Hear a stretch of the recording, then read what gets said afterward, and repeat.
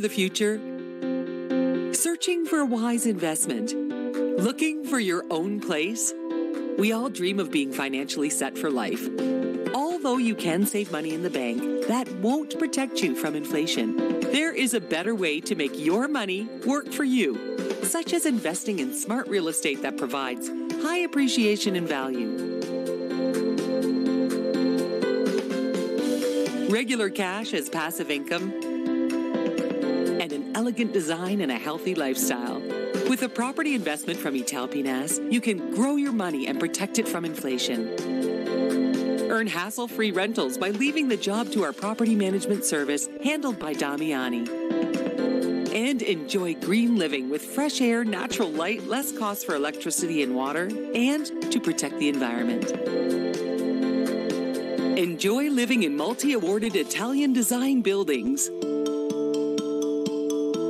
Price of one cup of coffee per day, you can gain peace of mind and secure your future with a new home from Italpinas. Contact our property specialist to learn more about our flexible payment schemes. Invest for your future and start your elegant green living lifestyle today with Italpinas.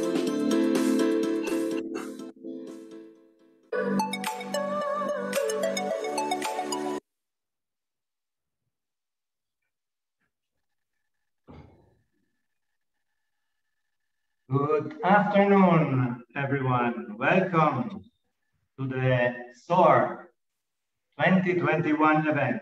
Need to stop uh, doing. This is uh, Lawrence Stiller, Vice President of the Italian Chamber. I will be your uh, moderator today. And uh, I hope uh, you're going to enjoy this absolutely fantastic event where we have gathered uh, uh, some great speakers for you. We will be talking about uh, Region 10. Uh, this is a real exclusive event about uh, this fantastic uh, thriving region, where we will discuss about the economy, about opportunities, especially now in this pandemic, or we hope that we are nearly at the end of this pandemic, and uh, our center point, apart from the focus on uh, the whole uh, region, is certainly real estate today. Uh, as uh, many have noticed, real estate uh, brings a lot of wealth and real estate, especially in the provinces in general now, and land has increased its value dramatically. So it seems to be a great opportunity to invest in uh, real estate, but our speakers today will definitely tell us all the secrets and all we need to know about. So, first of all, uh, this event is about sustainable opportunities and advocacies in the region, so in Region 10. And uh, we have speakers from government, from the private sector, and from the real estate sector, and also from banking. Our first speaker today uh, is the regional director of NEDA, Director Mylah Faye Aurora Carino. She was first an educator teaching physics and chemistry before venturing into government. She believes that public service, like teaching, is a vocation and a lifelong commitment to give preferential treatment to the poor, underserved and underprivileged, people who live in the margins of society. Director Carino believes in living a culture of excellence and compassion in all aspects of life. Director Carino was a honor student from elementary until her graduate studies. She finished a degree in Bachelor of Science in Physics for teachers as a DOST scholar from the Philippine Normal University in Manila, and she graduated cum laude with honors. Then she has a degree in Masters of Arts in Demography from the Australian National University. She graduated with honors and was given a Chancellor's Commendation for performing with high distinction and was confirmed the Charles Prize Award in Demography for Best Overall Result in MA Demography. Director Carino's training and experience encompass regional and local development planning, spatial and rural accessibility planning, program project development and management, investment programming and budgeting, policy formulation and coordination, program project monitoring and evaluation, mainstreaming GAD, culture and conflict sensitivity in development processes, and strategic networking and coordination.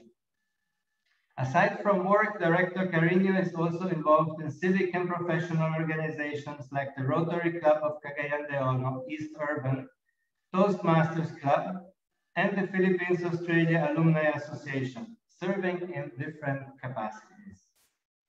A believer in lifelong learning, Director uh, Carino regularly attends trainings here and abroad for greater effectiveness and improved competence in work and personal life for introducing innovations in her workplace and in her civic organizations and performing beyond expectations and the call of duty, Director Carino received various awards of commendation and recognition from partners and other stakeholders.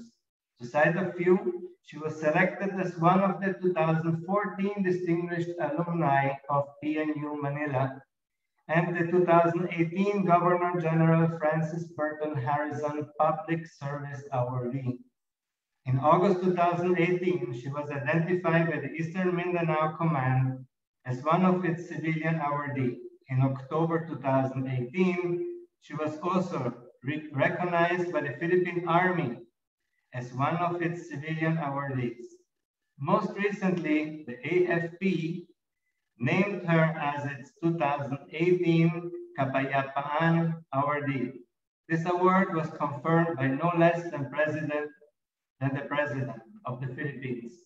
Under her leadership, NEDA Caraga and NEDA Region 10 were recognized by the Bangko Sentral ng Pilipinas as the 2018 and 2019 BSP Stakeholders Award for Outstanding Partner for report on regional economic developments respectively.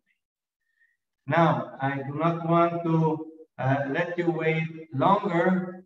Uh, I would like to now welcome Ms. Uh, Carino uh, and uh, Ms. Carino, the floor is yours. Thank you, uh, Lawrence. Maing hapon ka natin. Allow me to share my screen.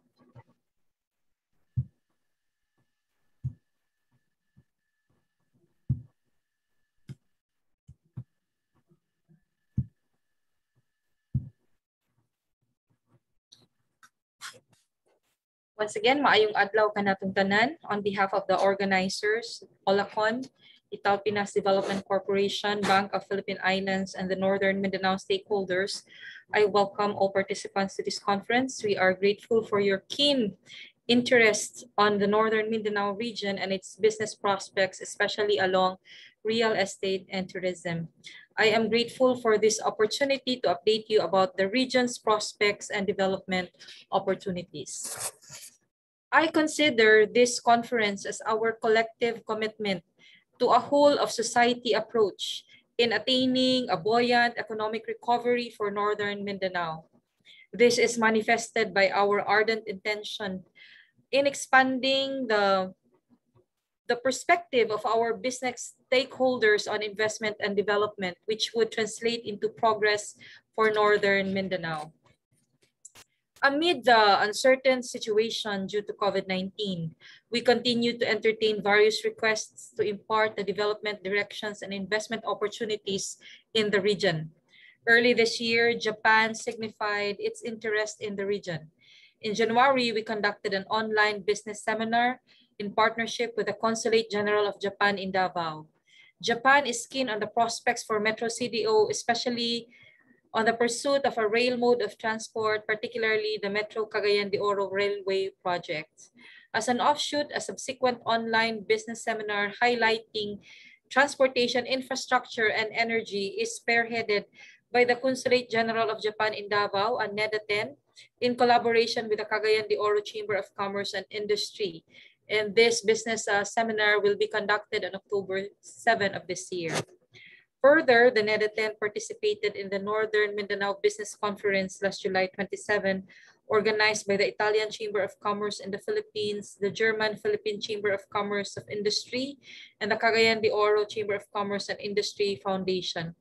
We boldly endorsed Northern Mindanao's comparative advantages, which gives it as an, an edge for uh, the preferred leading investment destination for both local and foreign direct investments. The region has a land area of 20,186 square kilometers, representing about 7% of the country's total land area. It ranks number five among the country's 17 regions in terms of uh, size of uh, area and the number one among Mindanao regions. Our region, Northern Mindanao region, is composed of uh, five provinces, two highly urbanized cities, seven component cities, 84 municipalities, and 2,022 barangays. Seven cities and 51 municipalities are located along the coastline, while 36 are inland cities and municipalities, 22 of which are in the landlocked province of Bukidnon. Many of these inland areas are considered geographically isolated and disadvantaged areas or GIDAs, characterized by spatial isolation due to distance, weather conditions, and transportation difficulties, high poverty incidence, presence of vulnerable sector and communities, or recovering from situation of crisis or armed conflict. Northern Mindanao's total population breached the 5 million mark based on the results of the 2020 Census of Population and Housing. The total population is recorded at 5,022,768 as of May 1 of 2020, or an increase of 333,466, about 7% from the 2015 count. Population continues to move towards Cagayan de Oro City and its peripheries and other major and other major urban centers in the region. This makes Metro CDO as one of the fastest urbanizing areas in the country. Therefore, with the metropolitanization of Cagayan de Oro, the region should sustain its massive infrastructure development to create resilient, sustainable, and livable cities. Further, Region 10 has a master plan for the sustainable urban infrastructure development of Metro CDO, which will serve as blueprint to prepare to propel its further development. Over the past three years, Northern Mindanao has established a strong economic performance, growing at an average of 6.6% from 2010 to 2019. However, the lingering COVID-19 pandemic disrupted this momentum. In 2020, COVID adversely affected the economies of countries, sparing no one. Across the Philippines, Region 10 had the third slowest contraction among 17 regions at 5.2%, which was well within our recalibrated targets. At best, we estimated that Normin's economy would contract at 4.7% and worst at 7%. In terms of share to the Philippine economy, Region 10 ranked 7, 7th, contributing 4.7%. For the period 2017 to 2019, Normin or Northern Mindanao achieved near full employment levels. This dropped to 93.6% in 2020 as the pandemic displaced workers. In fact, unemployment rate hit a 15-year high in April 2020 at 11.1%. Nevertheless, this unemployment figure was already the lowest among the 17 regions in the country. Based on the results of the latest poverty survey in 2018, which was released in 2019, both the national and regional targets in alleviating poverty have been achieved. However, this substantial decline in overall poverty from 2015 to 2018 will not be sustained in the remaining plan period given the scarring effects of the COVID-19 pandemic on incomes. Hence, the 2021 target was revised to between 23 to 25% instead of less than 15%. Projected job losses and income decline are initially identified as factors for such downgrade. Nonetheless, said target is proximate to the 2018 figure as the region strives to cushion and quickly recover from the socioeconomic impacts of the pandemic. Accomplishments from 2017 to 2020 have been mixed. While the productive sectors moved sideways, targets for employment and poverty were mostly achieved. However, the region lost ground in 2020 due to COVID-19 induced economic recession. Thus, headline targets were updated to reflect recent and emerging trends and consider imperatives for recovery. As far as uh, COVID is concerned, Northern Mindanao is faced with the gargantuan task of hastening vaccination efforts, improving health systems capacity, and inculcating an adaptive behavior among businesses, local governments, and the general public on transitioning to the new normal way of doing things. As of August 31, per report of the Department of Health Regional Office 10, COVID-19 cases in the, in the region reduced with two-week growth rate at moderate risk level of 9.58%.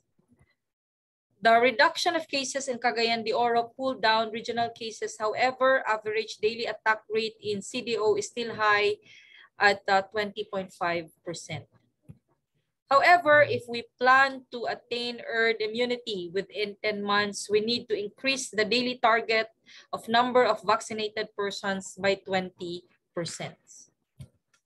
Northern Mindanao is committed to attaining the Filipinos' collective long-term vision and aspiration for self and the country in the next two decades. This is what we call as Ambition Natin 2040.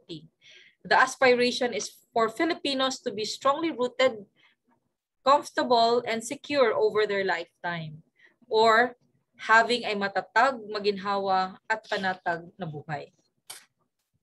In the region, we contribute to the realization of this vision by aspiring to be the, lead, the leading gateway and industrial trade and industrial and trade center in southern Philippines, wherein both dynamic men and women enjoy equal opportunities in sustainably harnessing our agricultural and natural resources towards a decent, harmonious, and safe environment. Our strategic directions are also laid down in various implementation plans, which include the updated Philippine Development Plan, the Northern Mindanao Regional Development Plan, the Northern Mindanao Climate and Disaster Risk Sensitive Regional Physical Framework Plan, and the Mindanao 2020 Peace and Development Framework. Strategically located Northern Mindanao is being positioned as the industrial trade cluster of the Mindanao Development Corridors. We also assert our strategic role as the leader in high-value agriculture-based and fishery products and a key player in manufacturing and other high productivity sectors. The recent pandemic has not deterred us from pursuing our aspiration to become the leading investment area for both local and foreign direct investments. Here are a few of our development priority thrusts, which our business partners can consider in their plans to invest in Northern Mindanao. The region is pursuing investments for an integrated steel mill in the Philippines. This investment is seen as a game changer for the region and the country as a whole. A total of 30,000 direct and indirect jobs will be created with the establishment of the steel mill and the creation of downstream and upstream ancillary services. We have all the necessary support facilities in place, particularly the power and water utilities to operate a steel mill. In fact, the NEDA 10 in the latter part of last year commissioned a study on the competitiveness analysis of Northern Mindanao as a potential location for the establishment of an integrated steel mill in the Philippines. The study aims to describe and analyze the competitive advantages of locating an integrated steel mill in Northern Mindanao. The study will be completed this year. Agri-food innovation from farm to fork is one of our major strategies towards post-pandemic recovery.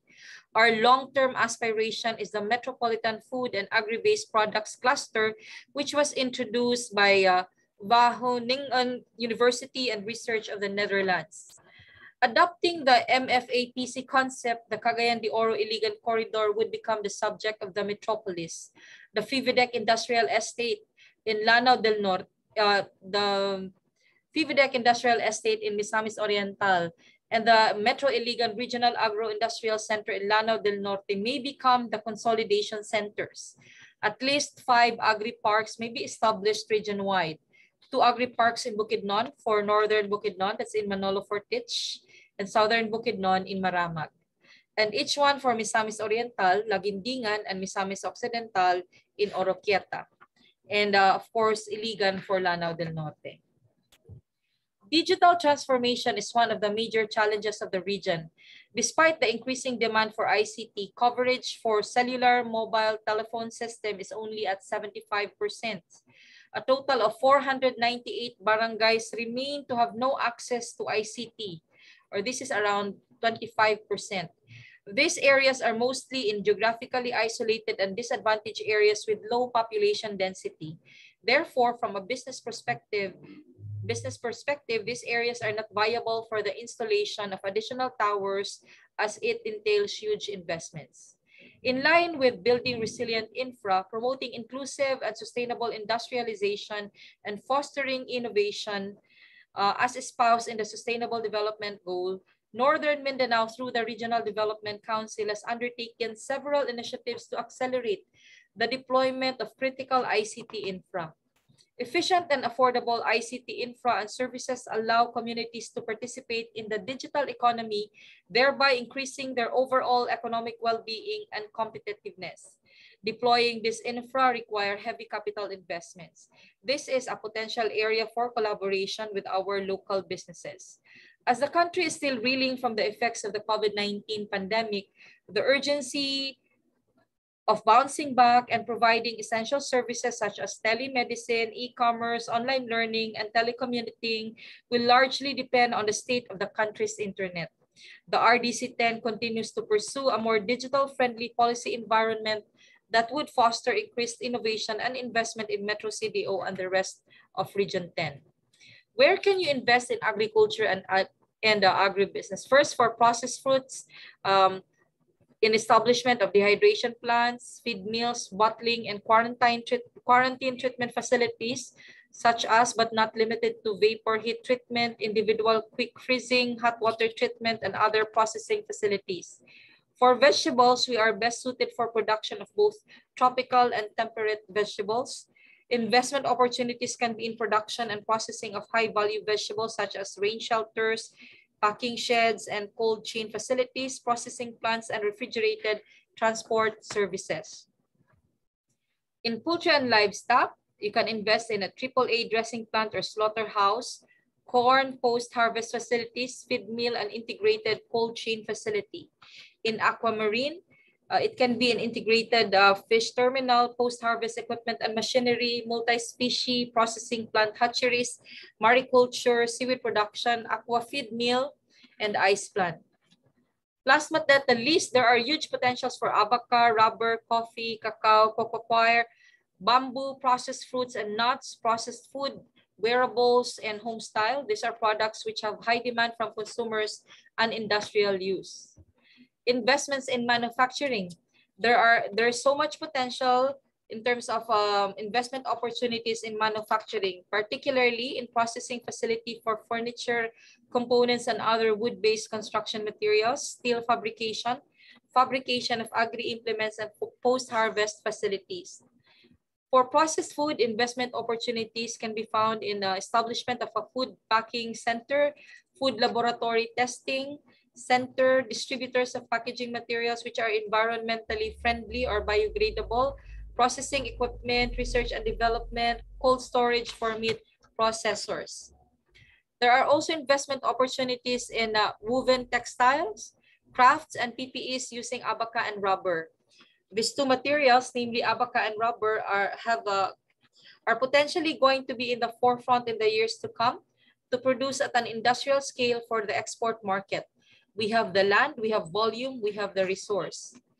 Investments in the service sector, particularly in the field of transportation, communications, real estate development, logistics, engineering and maintenance, including innovation, ecosystem support, financial services, and trading. It is with joy and honor that Italy, through IDC, pioneers in investing sustainable real estate development in the region, particularly in the highly urbanized city of Cagayan de Oro. This is truly the future we want as we also commit to the United Nations Sustainable Development Goals wherein business, government, and consumers are adapting sustainable consumption patterns with sustainable production practices for both domestic and foreign businesses. One of the challenges that we mm. foresee, especially on post-pandemic recovery, is housing settlement inadequacy, especially aggravated by rapid population growth, urbanization, and urban migration. In anticipation of more social acceptance for vertical development, including settlements in Cagayan de Oro and other urban centers in the region, we welcome investors in property development that would introduce more sustainable practices, even to the extent of socialized housing. This would also contribute to our pursuit for an inclusive urban development. On waste management and renewable energy, in the pursuit of a balanced social and economic development, and also the pursuit to eliminate infrastructure gaps, solid waste disposal is a major concern. One of the priority projects that shall be pursued is the Metro Cagayan de Oro Waste to Energy project. Hence, the region welcomes state-of-the-art technologies that would help us manage solid waste and similarly contribute to energy security.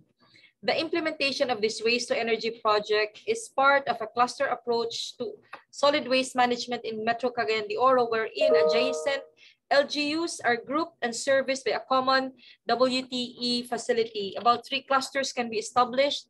One for LGUs located along the western side of Metro Cagayan de Oro, one for LGUs located in the eastern side of Metro Cagayan de Oro, and one for Cagayan de Oro.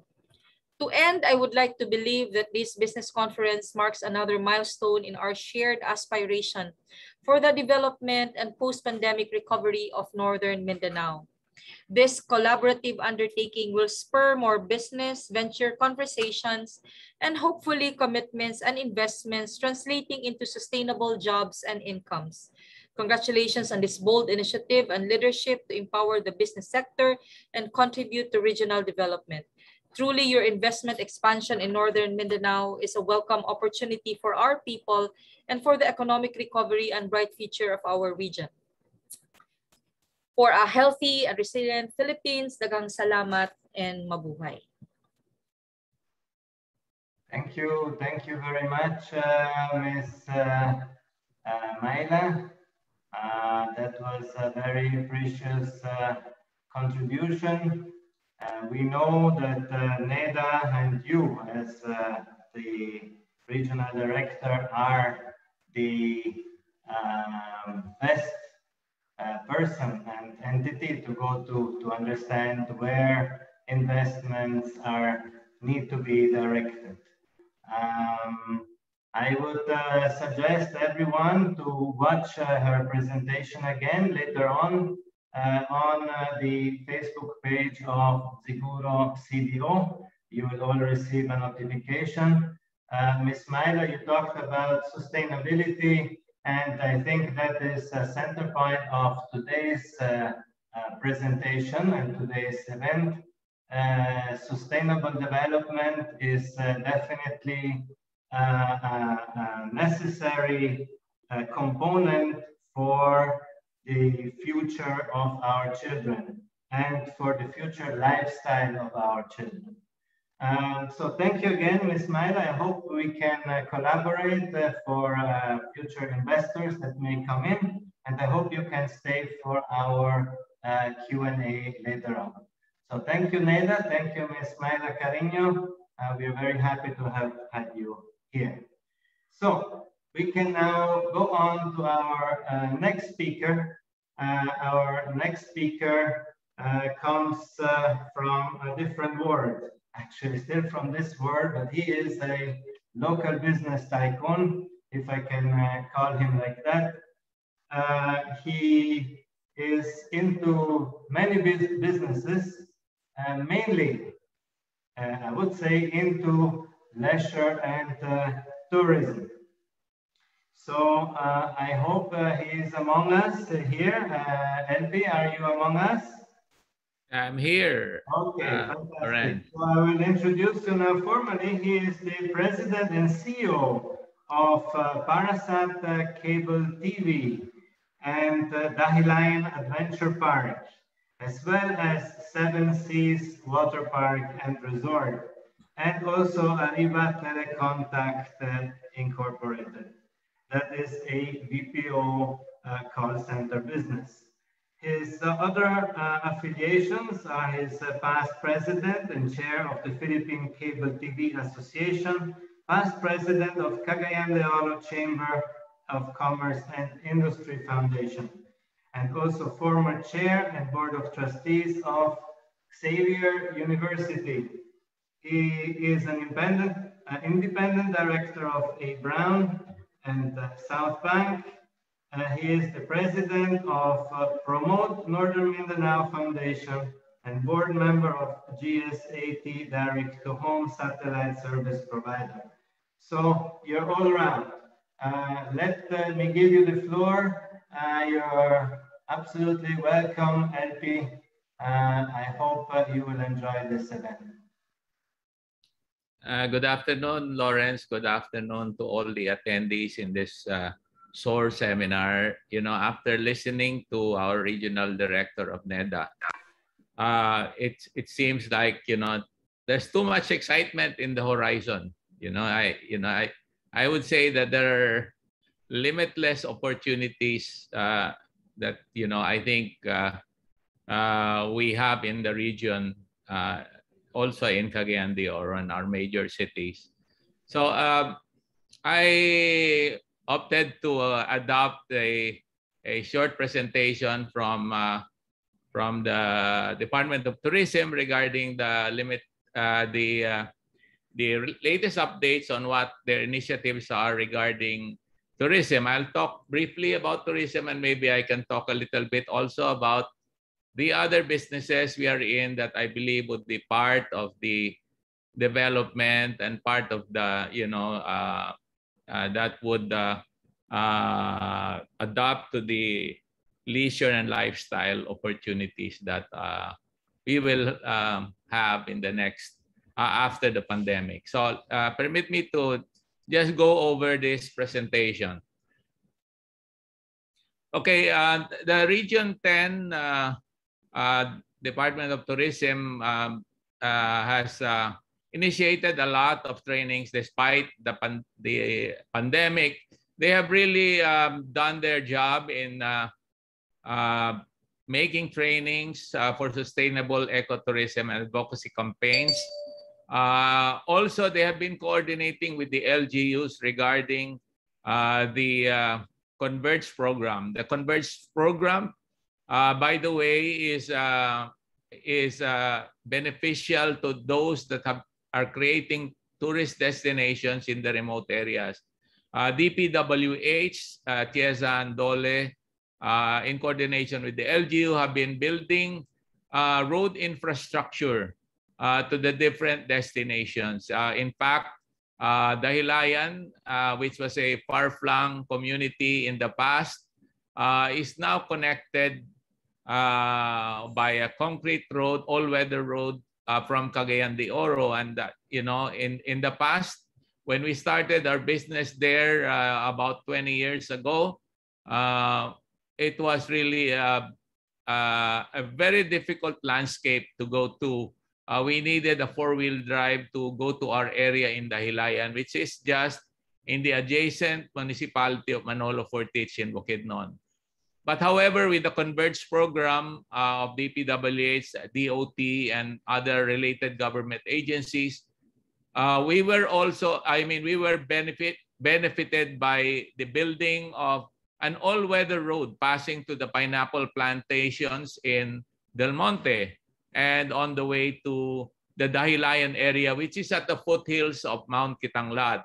So we thank uh, the DOT and DPWH for doing this. Also, we have been, uh, you know, that the tourism development plans for LGUs has been uh, jump-started by uh, the DOT uh, providing technical assistance, no, and uh, they have helped in uh, conceptualizing and walking through the tourism development plans, uh, which are very important for each of the LGUs. Also, uh, the DOT has been monitoring uh, the many of the tourism-related establishments under the new normal. As you may well know, um, tourism has really suffered a huge setback because of the COVID pandemic. In fact, uh, there is hardly any tourist destination that is open in Region 10 at the moment. Uh, we actually did open uh, way back in 2020, a few months in 2020 when uh, the spike uh, in COVID in, in the summertime uh, waned uh, in the second and uh, last quarter, the third and last quarter of the year. So we were able to reopen some of our tourism destinations in the in the region.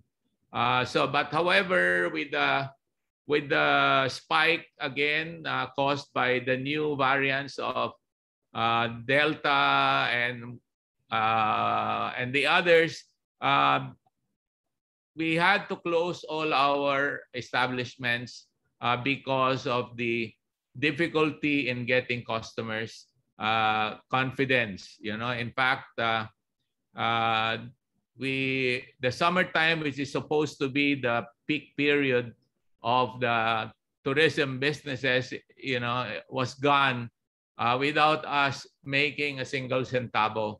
Uh, in fact, uh, you know, we have been subsidizing uh, and maintaining these uh, establishments and destinations. Uh, you know, we could not depend also on government because government is hard-strapped. But I believe that most of the tourism operators uh, in in the region are have really been hit hard. It's just lucky in my in our case that we have another business that actually took up the slack, as it were. Uh, I'm in the ICT business, and that has been. Uh, if I will talk about it later, it has been the uh, knight in shining armor for for the tourism establishments that uh, we have created. So you know the the DOT has really been doing its homework. Uh, you know they they have done capa capacity building seminars among the tourism stakeholders and the tourism guides and and those uh, stakeholders that uh, have been affected. And but I believe that preparation is important because when we reopen, we will really need uh, you know uh, to adapt to the new normal. Uh, and uh, lifestyle has really changed because of pandemic. Uh, oh, before we used to handle uh, you know huge crowds in in uh, Dahilayan, for example, and uh, also in the water park. But now uh, we are really forced to implement uh, the social distancing rules and minimum health guidelines, and you know it, it's causing a lot of disruption. But however, the shining light is that after this pandemic is over, I believe people are so pent up in their homes uh, looking for something to do. And, and that is why I, I believe that, you know, the, I still believe that tourism will recover, albeit, uh, you know, it might be, it might take a few more years, I think. You know, it's not overnight that you recover the confidence of people, especially that uh, many of us have really been affected uh, physically, emotionally uh, by, by this COVID pandemic. However, we have to look forward.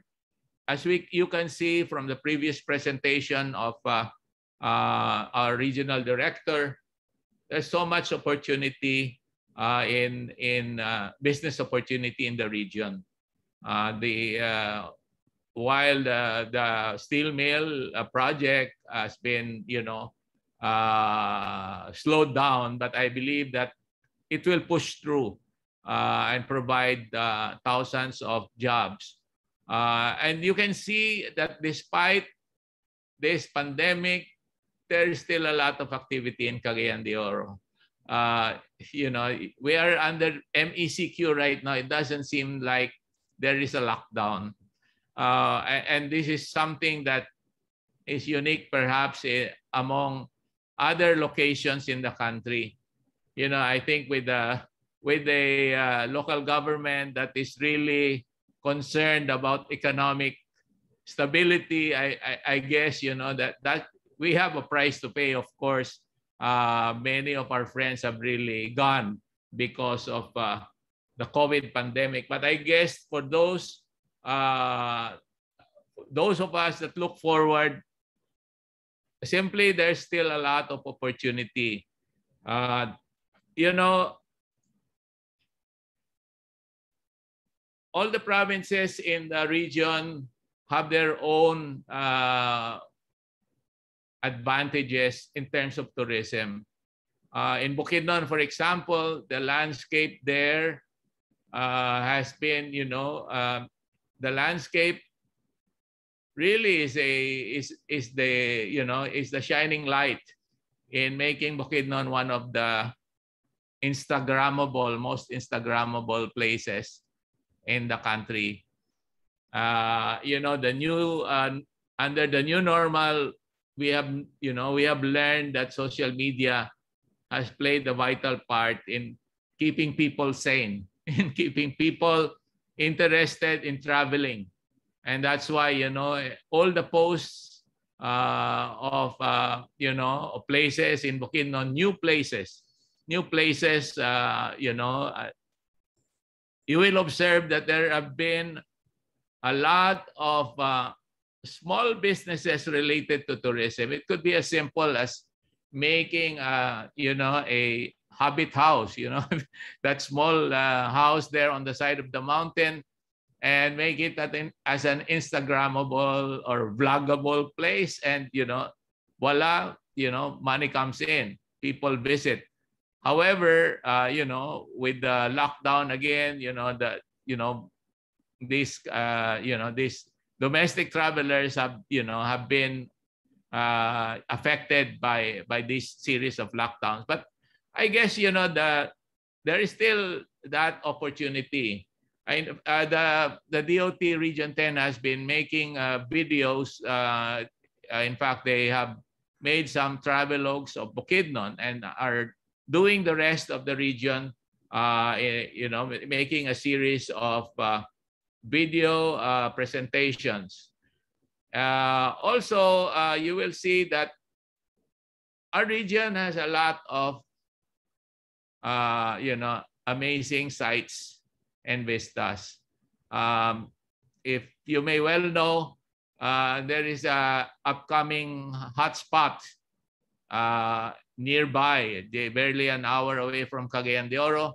Uh, when uh, COVID set in, people wanted to go out and the nearest place they would go out other than Bukidnon would be the Claveria area, which is part of Misamis Oriental.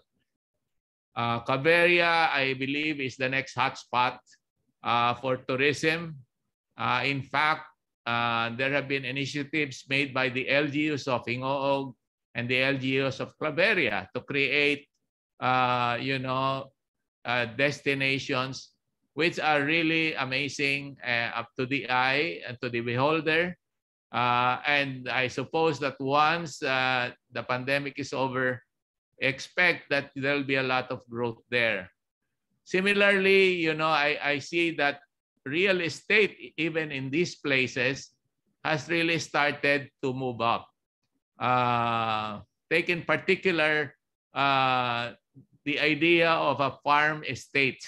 You know, uh, before people did not even think about the farms, about the ambience of uh, living in an in an environment surrounded by uh, lush greenery, uh, being able to uh, also plant your own crops and enjoy the farm animals. You know, now it has becoming uh, it's becoming a phenomenon of sorts. You know, uh, property in Claveria is now, I, I would say, not affordable to anyone except those that have, you know, a lot of money behind them.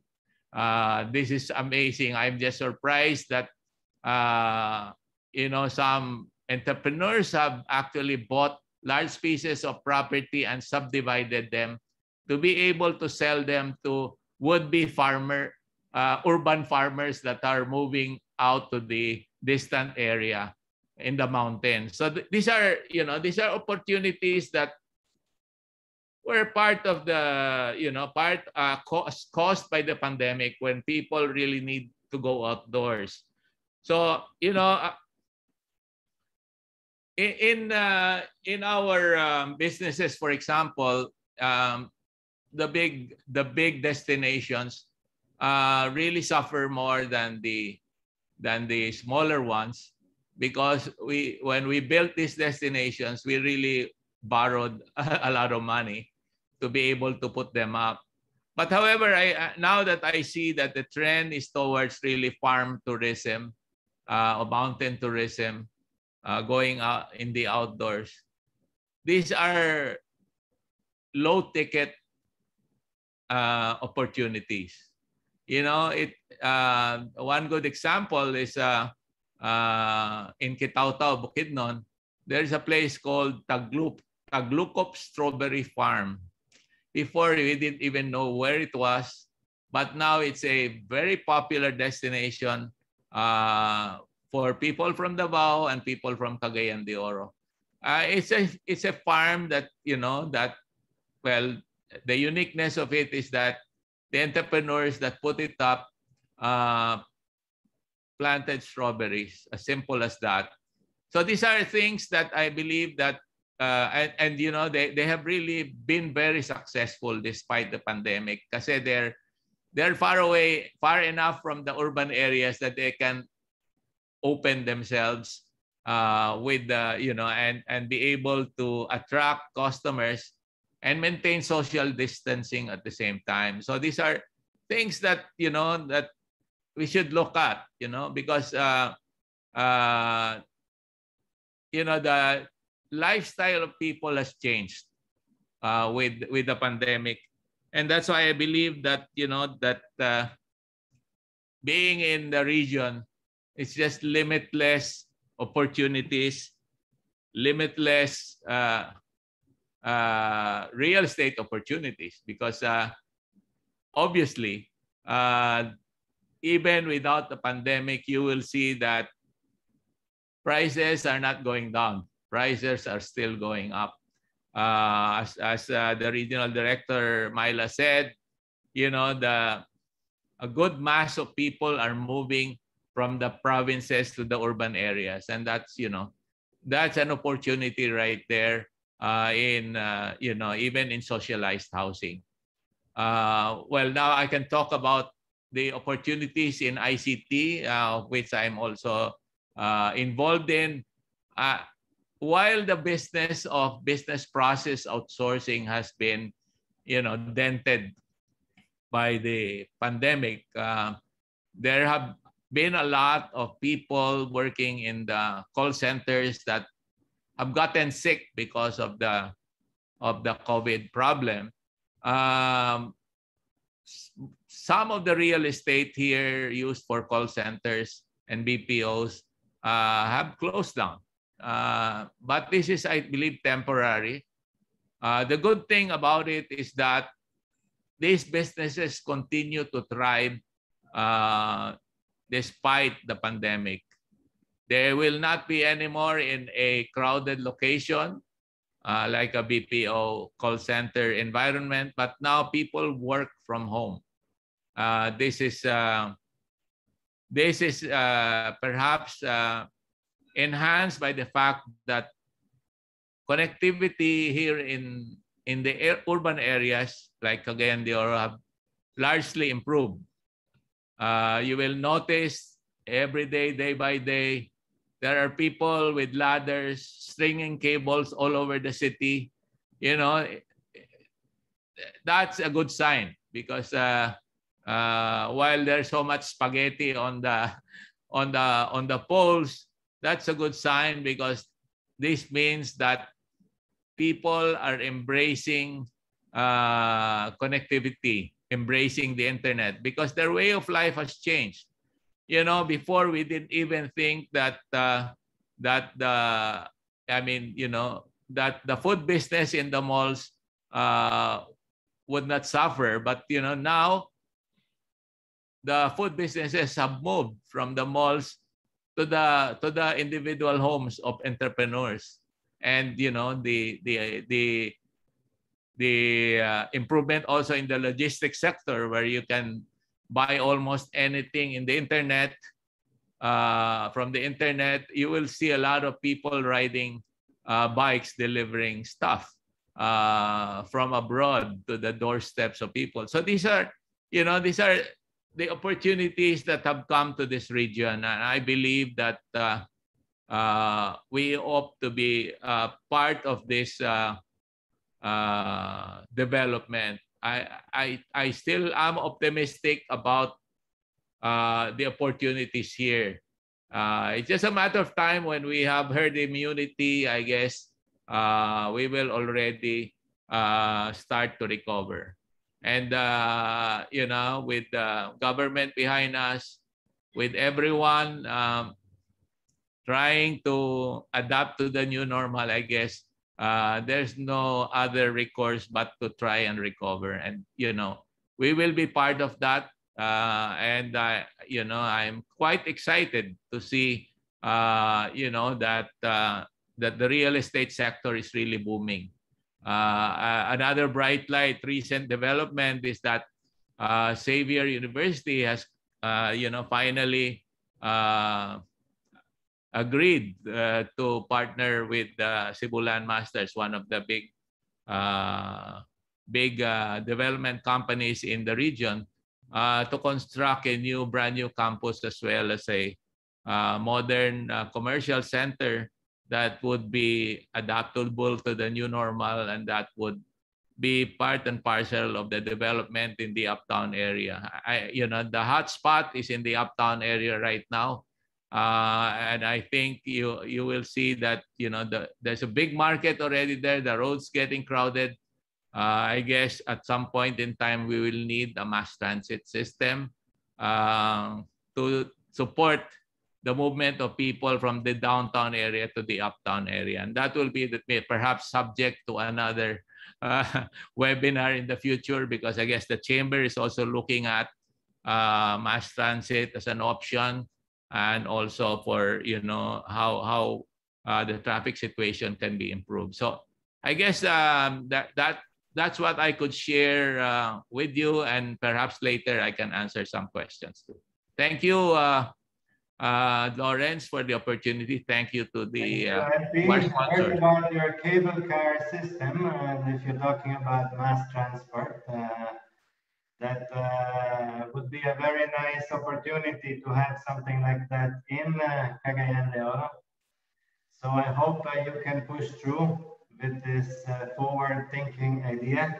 And it is absolutely true that the people are moving and uh, trends, uh, all trends actually have been accelerated uh, by this pandemic. Uh, not only people are moving out of metro cities, I'm talking about Metro Manila and Metro Cebu, many coming back from there to Cagayan and to the um, province uh, and also OFWs are coming back. So that opens up uh, new opportunities, uh, new uh, investors coming in, uh, and um, let's say a whole set of uh, new scenarios being offered.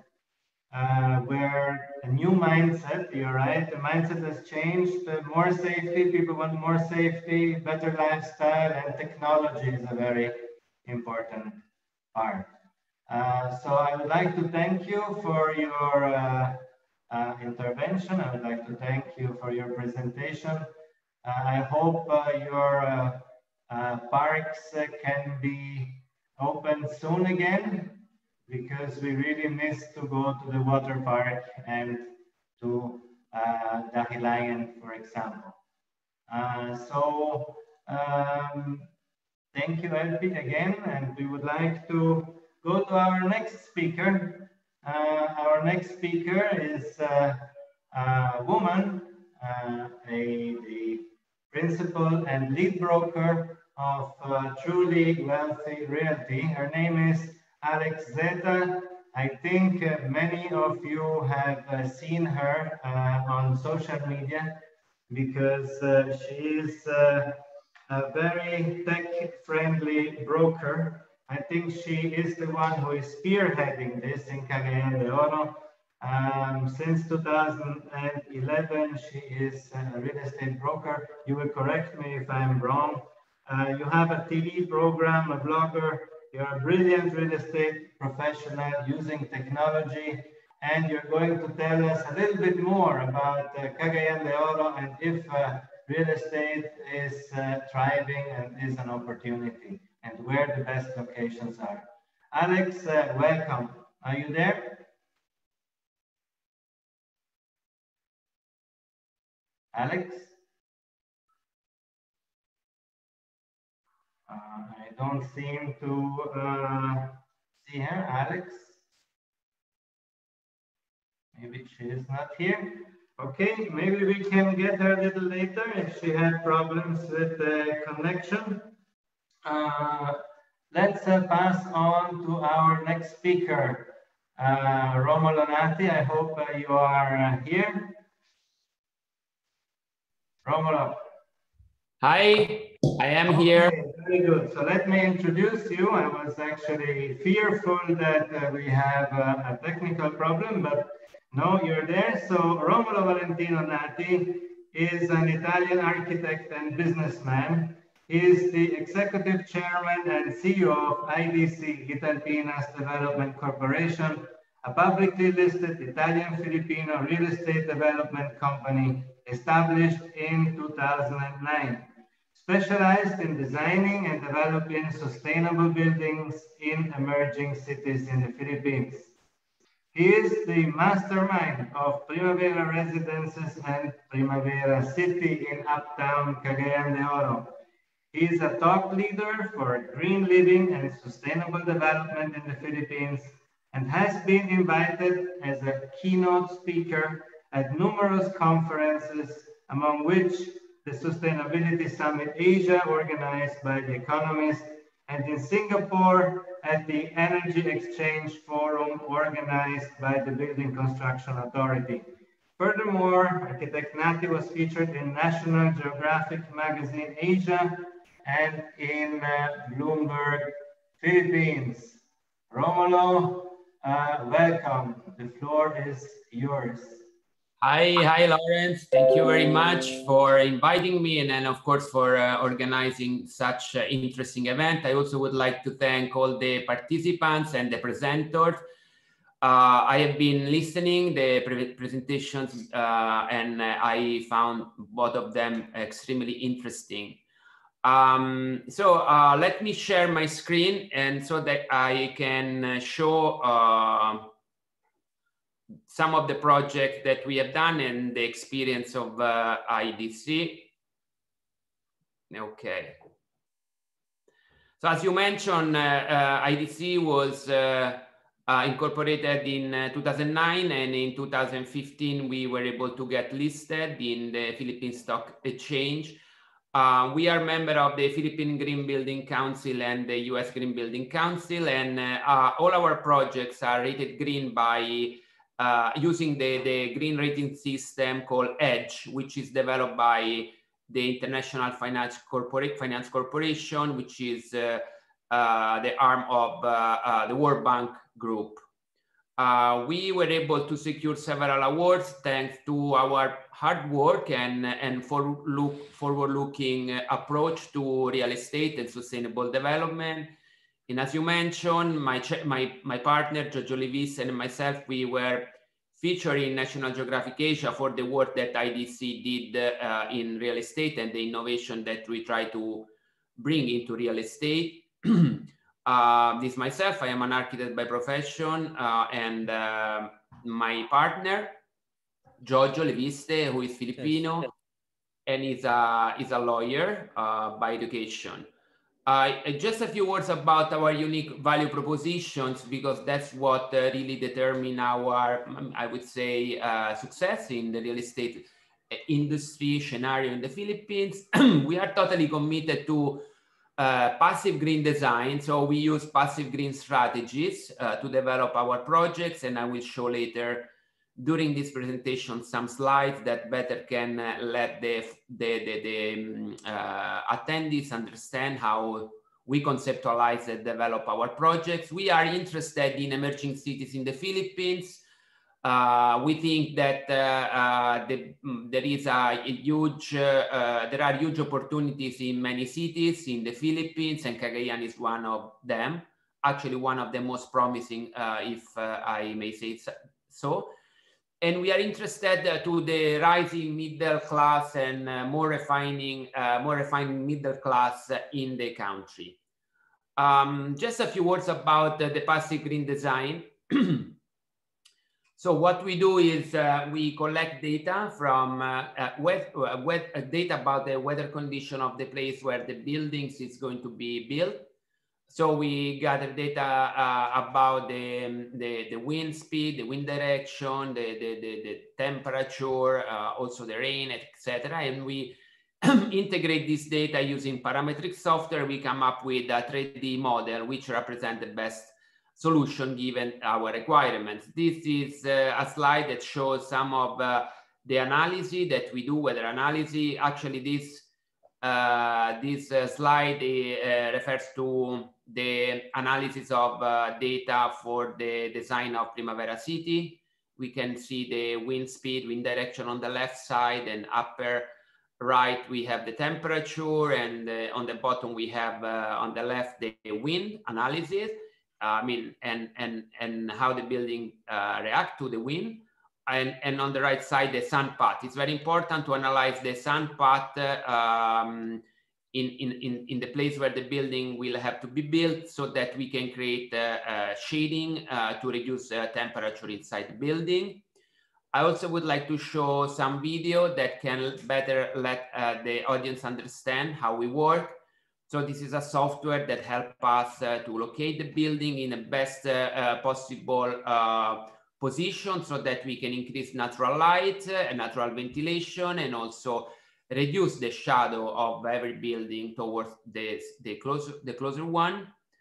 And uh, instead, uh, we have also software that can let understand let us understand how buildings behave uh, when there is a strong wind and uh, we also are able to increase the internal natural ventilation when the wind uh, uh is uh, not very strong. Last video shows the way we are able to increase natural light, but with, without increasing the temperature inside the unit, creating louvers, ledges, and cantilever structures that create shadow uh, so that we have indirect light and not increasing temperature. Um, why are we interested in emerging cities? And here, uh, really uh, plays um, um, a very important role because to me, it's a peg, it's a, it's a role model of uh, what's happening in the Philippines. If you consider that uh, there were only um, 18 million people living in the Philippines in 1950s, uh, and only 1.5 million were living in Metro Manila, we would be impressed to see that in 2019, more than 100 million people were the population in the Philippines and a huge number of people, around 14, 15 million, even more, live in Metro Manila. This was uh, uh, due to uh, aggressive migration in the past years from the provinces to the main city, Metro Manila, but this created uh, a lot of uh, negative side effects, which are visible for people living in Metro Manila, like myself. Um, we have a, um, a, traffic, pollution, and an increase of uh, uh, uh, cost of life. So what we anticipated back in 2009 uh, was what we call the centrifugal migration, means that people, not only Filipino, but also FWs and also uh, foreigners, uh, would start to think, to go, to, look, to look for opportunities in the provinces uh, where uh, opportunities are unlocking. Um, so this uh, this new uh, trend obviously uh, make uh, the necessity to for those to, to produce quality real estate products for those interested people.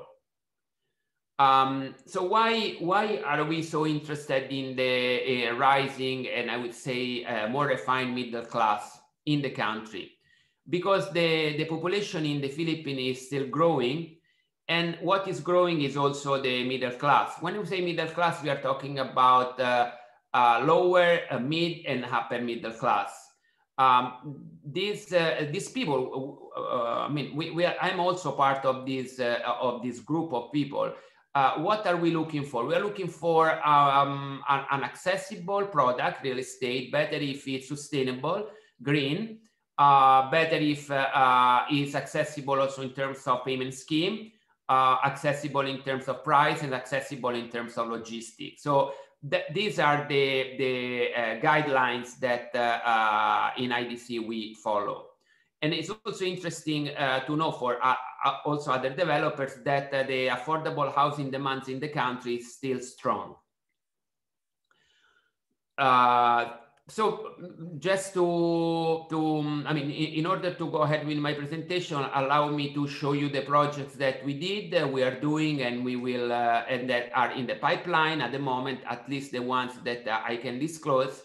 Uh, the first one is Primavera Residences, which is fully uh, completed and sold out already a few years ago. Primavera City, which instead is under construction and phase one is about to be turned over. And uh, uh Miramonti, which is a project that uh, uh, we are now doing in, in Santo Tomas Batanga, so in the island of Luzon. Primavera, which is the flagship project of IDC, our first project. and so we are obviously we have a soft spot for Primavera uh, project in, uh, in IDC. Um, and why Cagayan de Oro? This is a question that often uh, people ask me, no? Uh, why did we start in Cagayan de Oro rather than, for example, in Luzon, in Metro Manila, on the Visayas? Um, I recall very well that before in 2009 we started to develop this project, uh, I spent more than a year going around the Philippines, really from north to the south, from east to the west. Um, I when I visited Mindanao, actually I visited three cities: Cagayan, uh, Davao, and GenSan. Uh, all nice cities, but uh, my impression and my partner impression was that Cagayan had the, had what had some characteristics that uh, were really uh, giving us an indication that it was the place to start.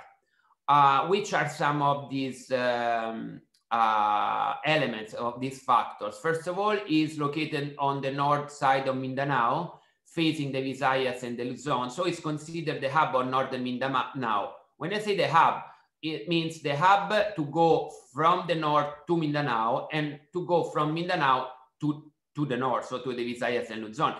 If you consider that a, a big percentage, if I'm not wrong, around 70% of all agricultural products that are consumed in Luzon and Mindanao come in Luzon and uh, Visayas come from Mindanao, you can have an idea how important it is to have an international uh, seaport and an international port in Cagayan de Oro and how strategically positioned is Cagayan. That's one of the main reasons why we started and we decided to, to, to, to build in Cagayan. Uh, Cagayan is also among the fastest growing cities in the country is, uh, uh, is uh, it has a, a huge housing gap and it's a home of more than 20,000 OFWs. And OFWs uh, represent a big chunk of clients for our company, but for also for other real estate company. On top of that, Mindanao uh, is uh, has a presence of several multinational companies, and Mindanao and Cagayan above is the is the city of golden friendship, and that's really true. I mean, that's not only a, a, a banner uh, or a tagline, of course it is, but is it really true? So I really think that doing business must be profitable, but also must be a pleasure. I mean, you need to like uh, to do business with the people that will contribute to the growth of your company and to the, the, the, the success of your projects. And even up to now, after I've been in the Philippines for more than 13 years, I can say that people in Cagayan are special. Uh, people, I'm not talking only about, of course, uh, people that are working in the company, uh, all stakeholders, so partners, clients, brokers, banks, LGUs. Uh, it's really a unique micro, uh, uh, a unique ecosystem. Um, not that in the other in the other places in, in the country, they are not, of course, very good people and efficient LGUs, but in my experience, Cagayan, it's really a role model. From my point of view, I'm, I, I go even farther, not only for the Philippines, but even for developed country. Uh, Cagayan could represent a role model. So uh, the project is located Primavera Residences and also Primavera City are located in uptown Cagayan. Um, has been said just now uh, by Mr. Paras that Uptown is the place. Yes, Uptown is the place. We were lucky enough uh, uh, and uh, maybe I would say smart enough uh, to understood this one, understand this one already more than 10 years ago. Uptown is the natural direction where the growth of Cagayan is going.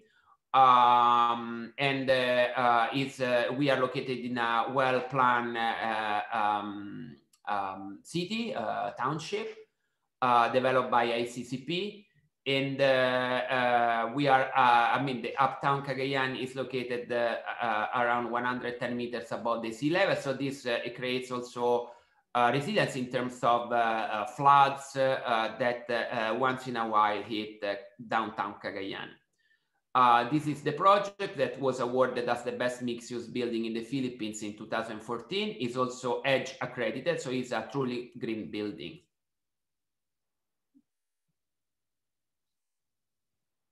Okay.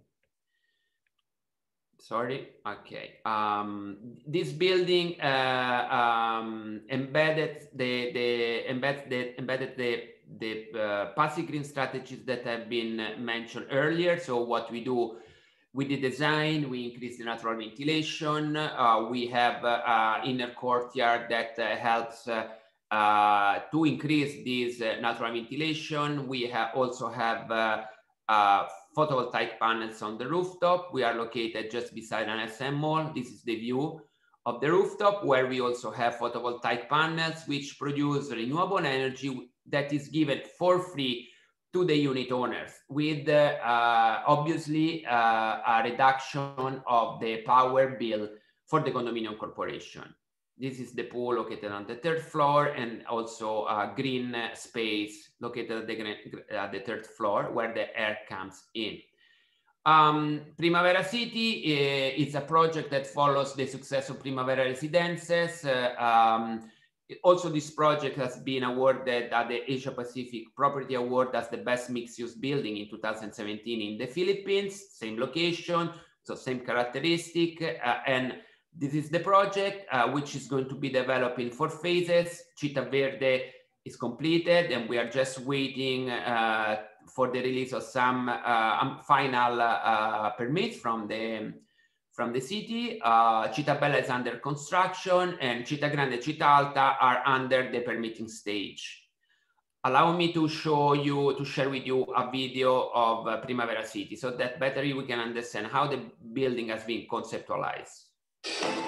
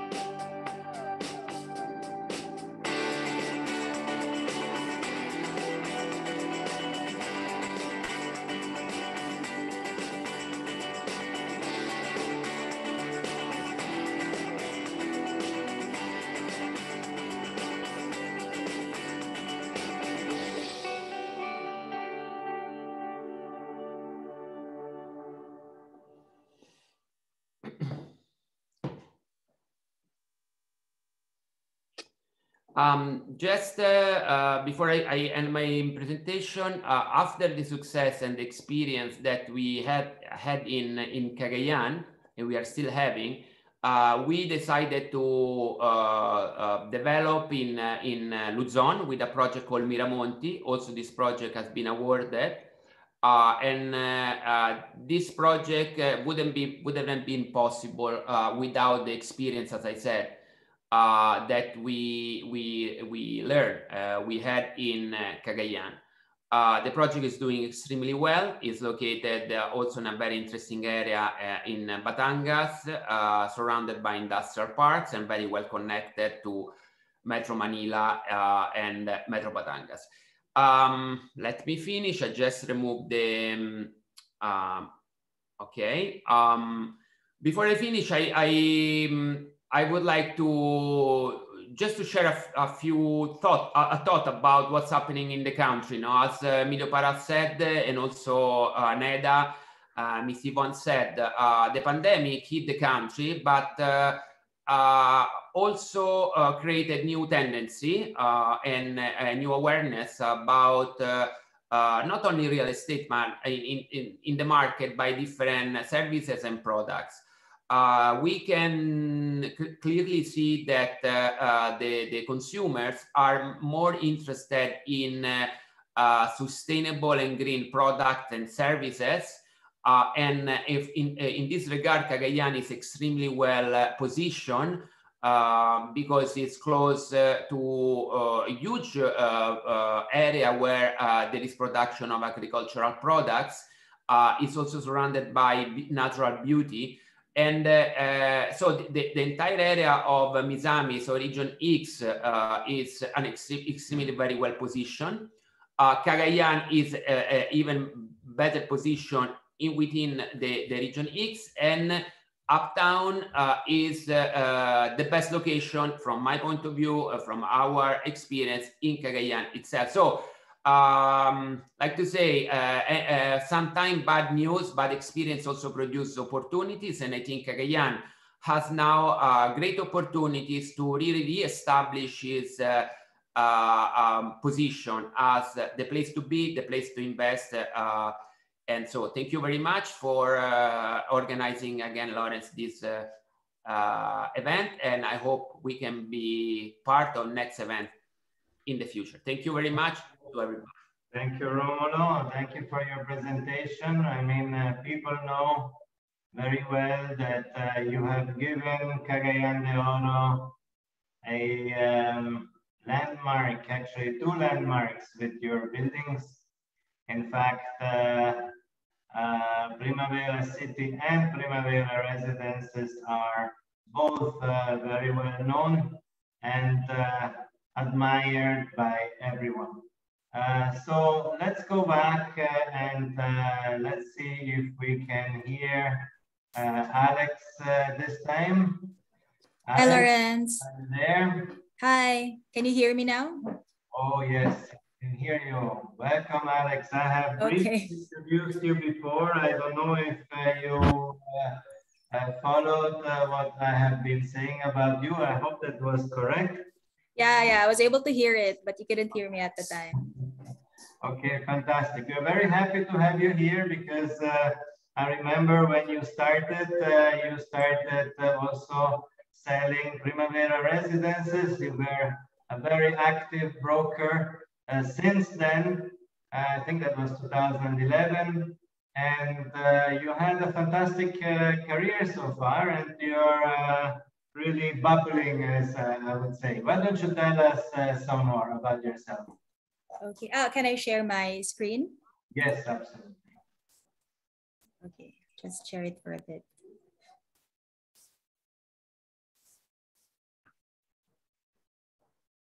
Okay. So hello everyone, I am Alex and today I will be sharing with you the growth opportunities of the real estate industry in CDO through the years, current market updates, and investment opportunities. So as Lawrence mentioned, I've been in this industry for the past 10 years. We actually met in Primavera residences uh, 10 years ago, right? That was such a long time ago. So being in this industry for that span of time, I have really witnessed the growth and progress of Cagayan de Oro. Take, for example, the uptown area. So residential real estate prices uptown have tripled over the past decade.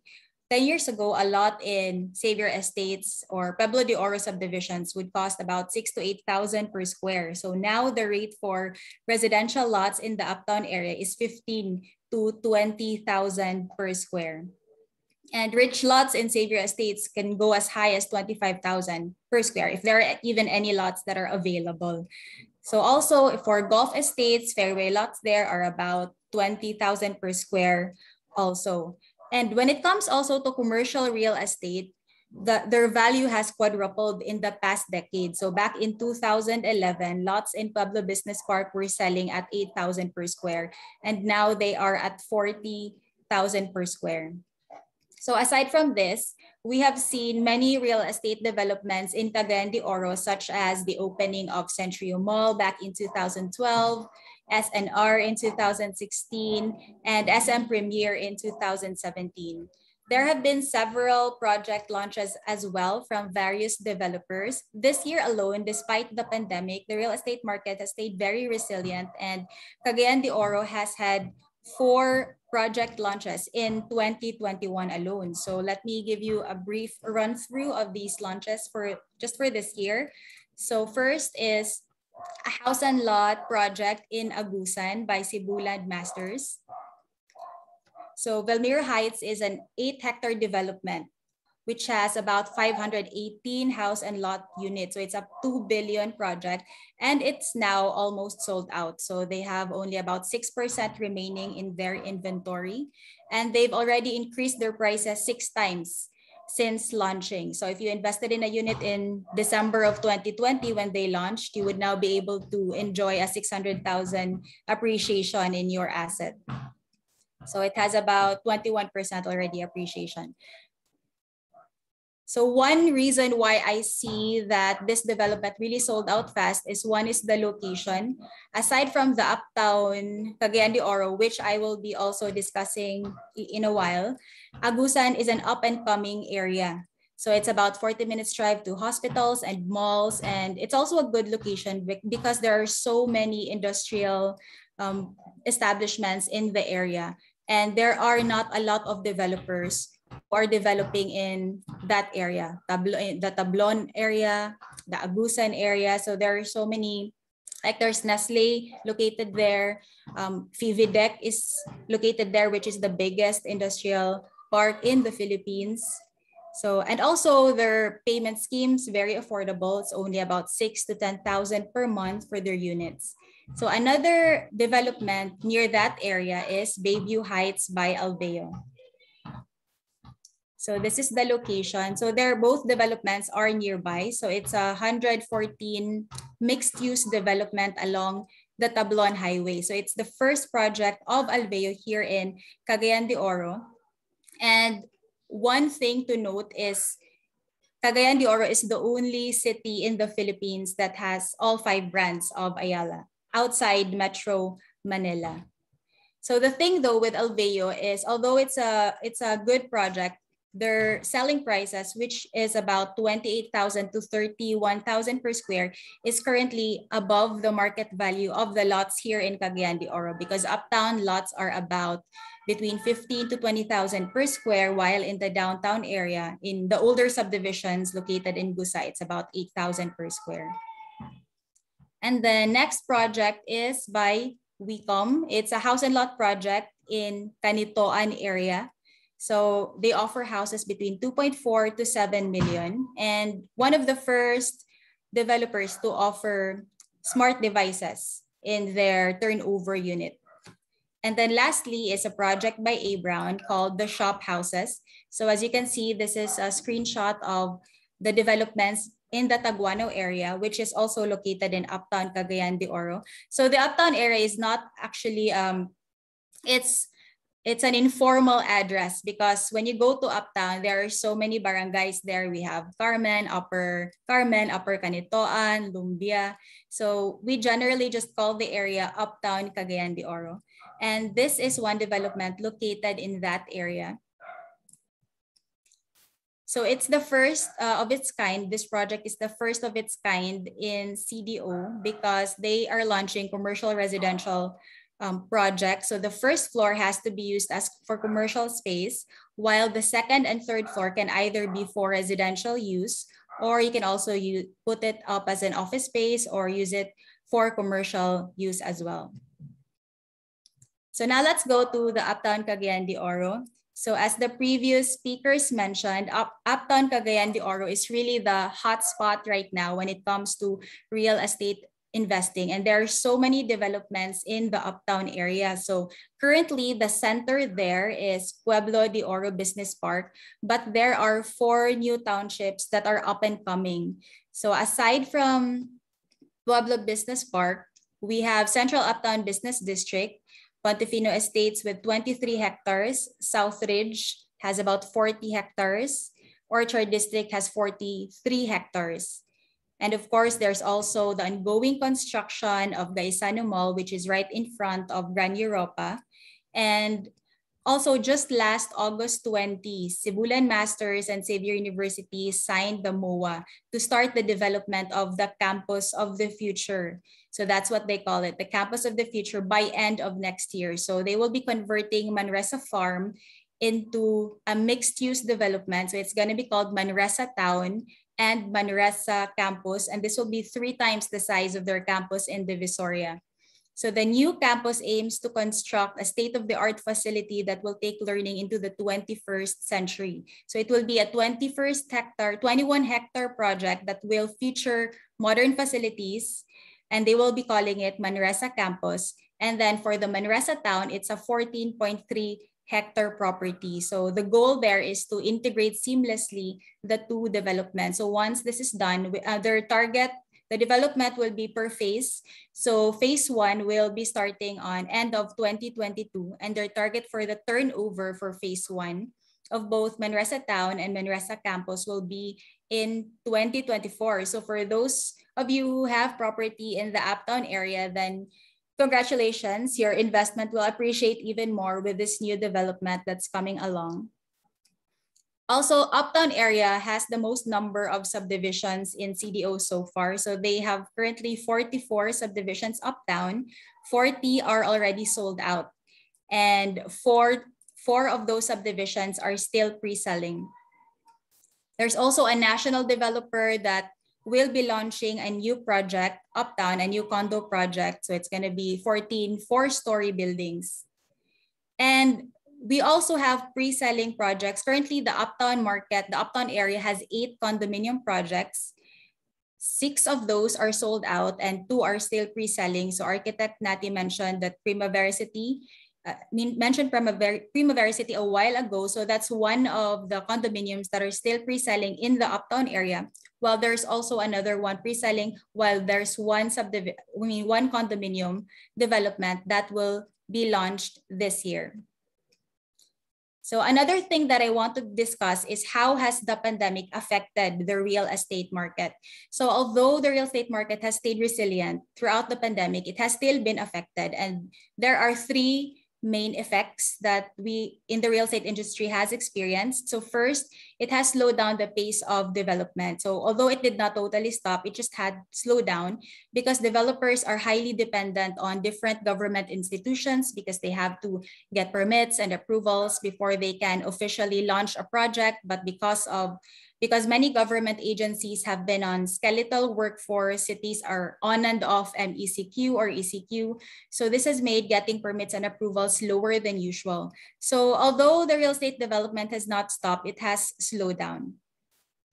And another thing, uh, second effect is it, it has led to, the pandemic has led to an increase in the price of construction materials, especially last year when COVID was still starting and almost every city was on lockdown. So the price of construction materials doubled. So for the first few months, some developers have had trouble sourcing materials because there was a logistics problem. But this year, everybody, uh, the, the logistics problem has already been solved since we are now operating in the new normal. So everybody was able to adjust. And then third, Another difference is increase of sales through assumption. So there has been an increase of sale through assumption by the sellers because for buyers who want to invest in a pre-selling project, they first have to pay the equity over a period of time. So usually equity is payable over 12 to 24 months or even more. So now since the pandemic has squeezed a lot of people, some now have trouble pushing through with the sales. So they're having a hard time hitting the monthly payments. So what some buyers are forced to do is they are they have to sell their investment at at market value or even below market value to liquidate their assets so they can use their money for something else. Like for instance, I had a client who bought a condo unit, a pre-selling condo unit two years ago. It was priced at 1.8 million then. But now since she, since she's having trouble meeting the monthly the monthly mortgage, she had to let her unit go. She was able to sell it at 1.9. So even though the value of that unit now is 2.5, she had to sell it in a way at a loss below market value because she needed to liquidate fast. So all in all, although there has been some changes, the real estate market has been affected, it has stayed very resilient. Even during last year when COVID hit the country, um, one of the developers sold out their condominium project in 2020. So that was at the height of COVID where everyone was still afraid, everyone was still getting used to the pandemic. And even I, as a real estate broker and also a realty owner, I expected for our sales to go down when the pandemic was still starting, but the opposite actually happened. Like last year, we hit like I, we hit the highest number in our sales ever since we started and it was during COVID. And now we are on track to doubling those numbers for this year. So now let's go to available investment opportunities in real estate. So there are four main areas that investors can focus on when it comes to investing if you really want value for money. So first is pre-selling projects. We have pre-selling house and lots or condos such as Primavera City. So developers usually start at the lowest price upon launching. That's why for buyers or investors who want to buy at the lowest price, when it comes to pre-selling projects, you have to get a unit upon launching because that's at the lowest price. And then from there, developers will usually increase their pricing later on. So they will be increasing around usually three to four times before the turnover. As the project progresses, they have a schedule for the price increase, which is usually either based on the development phase or the number of units that are already sold. And then second, you can also, as an investor, choose to focus on units that are for assume that are on rush sale. Because when you, like I mentioned a while ago, when you invest in a pre-selling unit, you're still paying for the equity. So there are times when buyers will be strapped for cash and they need to liquidate, they need to sell their assets. So this can also be a good deal, just like my client who invested in a condo, even though she bought it at 1.8 to two years ago and it's now worth 2.5, she eventually sold it at 1.9 because she was already in a hurry. So if buyers are in a hurry, I mean, if sellers are in a hurry, they will usually let the unit go at a low, at a price that is lower than market value. Another thing to note are foreclosed properties. So foreclosed properties are those uh, real estate uh, are real estate investments that have been foreclosed on by the bank in the in, in the event that the buyer or the borrower defaults on their payment. So they are usually priced below market value based on uh, my observation in the existing inventory of foreclosed properties. There, there aren't a lot of foreclosed properties in CDO because we are a smaller city compared to, let's say, Manila or Davao. They have a bigger inventory of foreclosed properties.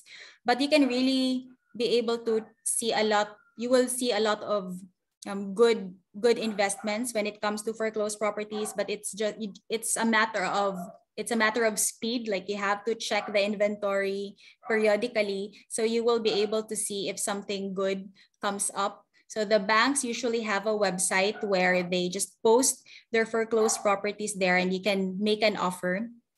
You, most of the time they will prefer um, cash offers. Some they have, banks have different have different ways to dispose of their foreclosed properties. Some they just put it up for sale and they get the highest offer. Sometimes they go through bidding. So also um, in 2020 and 2021, I'm expecting a lot of foreclosed properties to be on the market.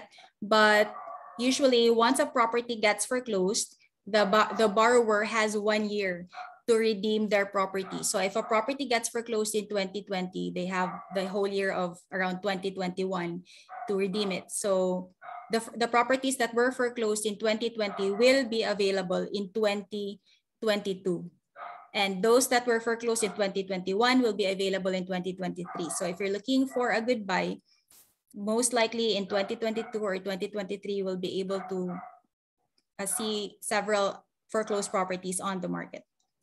And then lastly, uh, properties on rush sale. So investors can also check out the properties that are on rush sale. Motivated sellers will want to really sell their property below market price if they're in a hurry for some reason, like if they need the money or they need to move, or one reason is if they are getting divorced, stuff like that. So they want to dispose the property as soon as possible and they will they are okay with getting a price for their property property that's below market value. So that wraps up my presentation for today. All in all, real estate is a great investment as long as you're really clear about what your goals are and also check your financials before diving in because it is a long-term investment. As they say, the best investment on earth is earth itself. Good afternoon. Thank you, Alex. Uh, we know that you have a long-standing experience in real estate and uh, you have been driving uh, a lot of investors to invest, especially in uptown, let's say the best part uh, at the moment to invest in Cagayan de Oro. Yes, it's the BGC. It's the BGC of Cagayan de Oro, uptown area. Absolutely. And we will have a chance to ask more questions in the Q&A later. I need to speed up a little bit because I know that architect Nati needs to go. So that brings us to our next speaker because uh, Alex mentioned bank. So today we have uh, among ourselves uh, a uh, representative from uh, um, one of the biggest banks in the Philippines. So let me uh, here we go. Uh, Mr. Herbert Vincent Duason, he is the Vice President and Retail Mortgage Head of BPI Family Savings Bank. He has 24 years of banking experience, mainly in retail mortgage, loans, marketing, and non-life insurance. Currently the Vice President and Retail Mortgage Head of BPI Family Savings Bank managing one of the biggest retail loan portfolios in the country. Um, with over 135 billion in housing loans. So we may ask him later if there is a lot of foreclosed properties. Won two international awards in 2015 as the best retail mortgage bank by Alpha Southeast Asia and Best in Home Loans by the Asian Banker. He earned both his master's in business administration and Bachelor of Arts major in psychology degrees from De La Salle University, Manila. Ladies and gentlemen, the floor goes to Mr. Herbert Vincent Duason. Are you there? Yes, sir. Thank you, Lawrence. Uh, you know, actually, this, this is an excellent segue to Alex's uh, presentation. Uh. We, she presented the opportunities that people can take advantage, and then we will be the enabler for people to take advantage of these opportunities. Uh, now, allow me to proceed with my presentation. You know, uh, well, firstly, I, would like to thank everyone for the opportunity to speak uh, in front of you uh, this afternoon. Uh, we in BPI Family Bank always make sure that the customer is our top priority from the beginning up to the end of all our products and services. With the constant threat of COVID-19, I am sure all of you agree that it is incumbent to, for all of us to look after our own health. Are we as healthy as we can be, especially during this pandemic? Are we listening to what our bodies are telling us despite the demands of our work and businesses. You know, we in BPI Family Savings Bank remain to be committed to our number one focus. And th that is to make sure that we look after the health of our customers. Let me share with you the acronym and the key words that best represent our strategy on our low, housing loan customer focus. Let's start with H for heart. We see to it that we know and understand our customers' hearts, what they truly love, hate, and need. Our offerings in BPI Family Savings Bank are needs-based. In a survey conducted by NEDA, we found out that majority or 79% of Filipino families aspire for a simple and comfortable life. This means having enough for their daily needs and having savings to pay for their unexpected expenses, support retirement, and of course, it includes the aspiration to purchase a car and build or purchase a house. Hence, our mission is to enable Filipino families progress in life and believe in their ability to achieve their dreams today rather than tomorrow, sooner rather than later, in the here and now rather than the far future.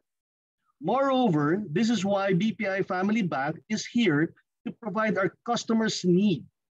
May, may it be for purchasing, acquisition, or constructing your dream home, renovating or expanding your existing house, or other funding needs for the family. So going back to acquisition, we finance the acquisition of residential properties, such as house and lot, condominiums, townhouse, or residential lots. It is actually very simple and easy to apply. Here are some general application requirements, very simple. First, a duly accomplished application form and just one valid government issued ID. If you are employed, we only require one of the following. The latest certificate of employment indicating the position, tenure, and salary, latest ITR, latest three months pay slip. If the source of income is business, we require the following. The latest ITR with audited FS, latest six months bank statement of the business, list of trade references such as your suppliers or customers, DTI registration for sole proprietorship, and for corporations, the usual corporate papers such as SEC registration, article, articles of incorporation and bylaws, and the latest GIS. For the collateral documents, since people will be purchasing an Italpinas development property, we will only require a copy of the endorsement letter or official computation sheet from IDC. Now we move on to the next acronym, which is E for experience. We create exceptional personalized experiences for your customers. Simply delivering what our customers expect will make us lose customers to our competitors who wow them. We want to exceed your expectations through the various stages, which means that from the time we offer the loan solution until the completion of the requirements and even after the loan has been booked. That is why when the pandemic hit last year, we shuffled our teams to best serve our customers. We implemented what we called our in-source management team that entailed moving officers from other divisions to our customer service who were inundated with calls and queries. This was especially at the height of Bayanihan's 1 and 2. Now, let me share with you our customer experience or journey when you avail of a BPI Family Bank housing loan. First, you just have to completely fill out an application form and submit it together with the requirements of our BPI Family Bank housing loan officer. Wait for the evaluation and decision, which takes just five banking days for borrowers who are employed and 10 to 15 banking days for borrowers whose source of income is business. Once approved, your loan officer will email you the details of the loan approval, including the post-approval requirements. If you agree with the approved terms and conditions, you may now proceed with the signing of the loan documents at the BPI Family Bank or Retail Lending Center or at the nearest BPI or BPI Family Bank branch.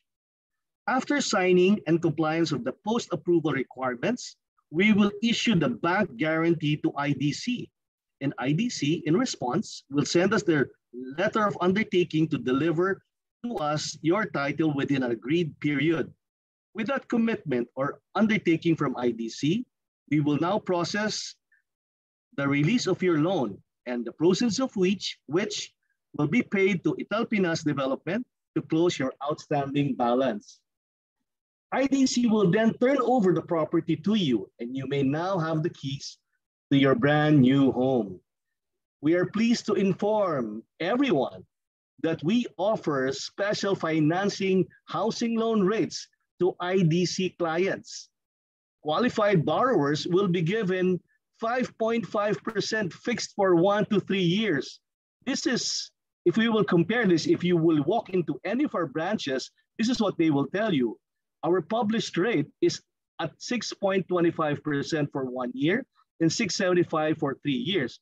But we are offering, offering this to our IDC clients for only 5.5. This will also be at 6.5% fixed for four to five years versus our published rate of 7.25%, provided that the loan is released on or before October 31 this year. Now we move on to the next acronym, which is A for agility. We make sure that we are quick to respond to you, especially with today's hyper-connected landscape. Now is the time to revolutionize what you value most about us. We want to make everything faster, easier, and affordable. Easier because we rolled out one, more lending programs that addresses numerous documentary requirements. Faster through our depositor lending programs and conditional approval. So if you are a depositor, you would really enjoy a distinct edge. In addition, we designed a virtual appraisal tool to assist in overall credit evaluation process, given the travel restrictions in certain areas.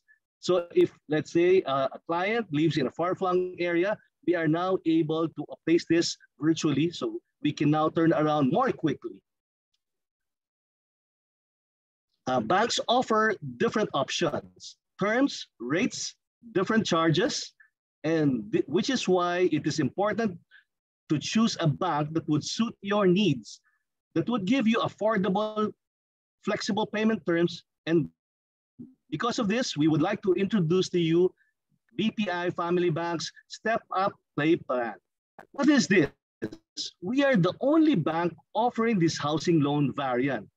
This is the first and only lo loan solution that enables an individual to plan and control the amount of your monthly payments every year. This makes housing loan more affordable for everyone.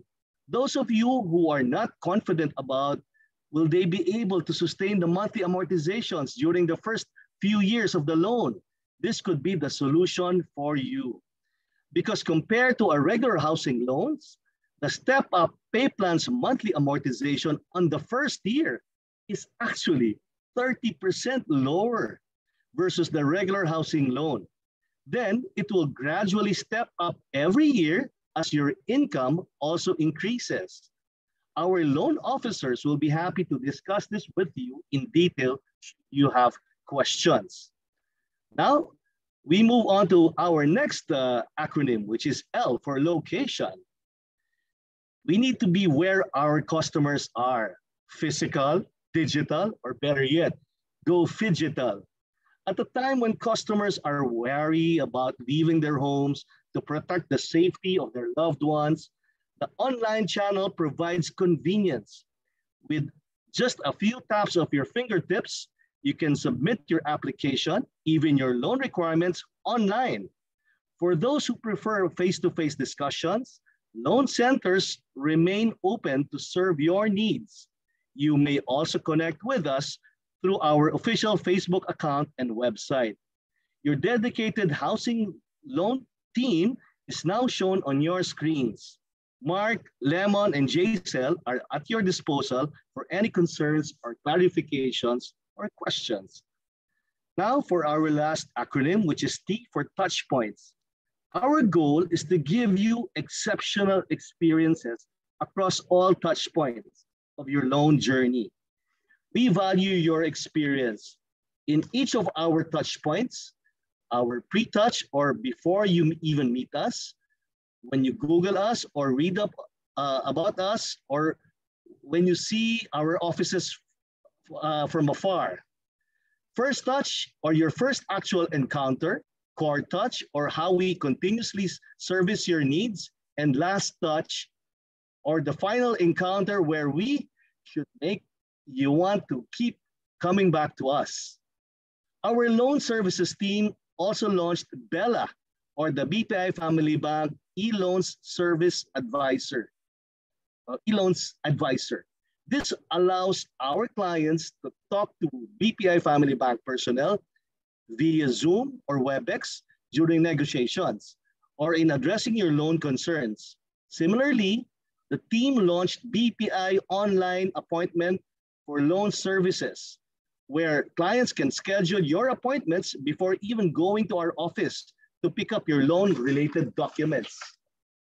For customers whose units are ready for turnover or due for turnover, we designed a webinar to equip you with financing needs for the next steps of your home journey. All of these ensure that we maintain touch points with our customers and provide new ones, making it easy as possible to address your loan concerns. We are also rolling out an automated loan origination system that will provide real-time SMS updates on your every step of the loan process. And finally, H for Hero. A hero is one who is committed in providing excellent customer service and causing positive change. BPI and BPI Family Bank are driven by purpose of making owning your dream home easy and right. With heart, experience, agility, location, and touch points, BPI and BPI Family Bank will strive to be a community of heroes who will help make Filipino dreams of owning a home achievable now in the time of pandemic and in the decades to come beyond the pandemic. We look forward to serving you and we are committed to making your housing loan journey and owning your dream home a rewarding experience. Thank you and take care, everyone. Thank you, Herbert, uh, for your precious insight. I'm sure some of our viewers will be interested to contact you.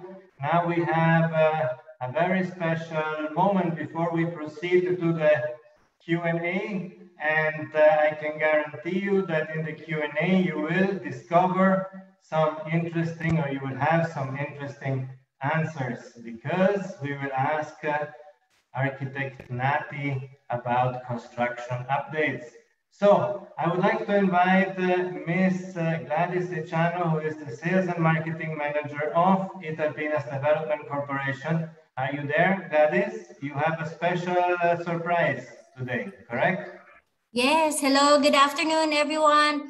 So Lawrence, thank you very much for the opportunity to share with you to share with everyone our special promo. So just in time for the price increase, just in time also for the upcoming development in Uptown, and of course for our for our own um, price increase adjustment for our uh, price increase this coming September 15. So um, starting today up to September 15, we are offering zero reservation fee. So normally reservation fee is 15,000, but um, starting today up to 15, we will waive that off.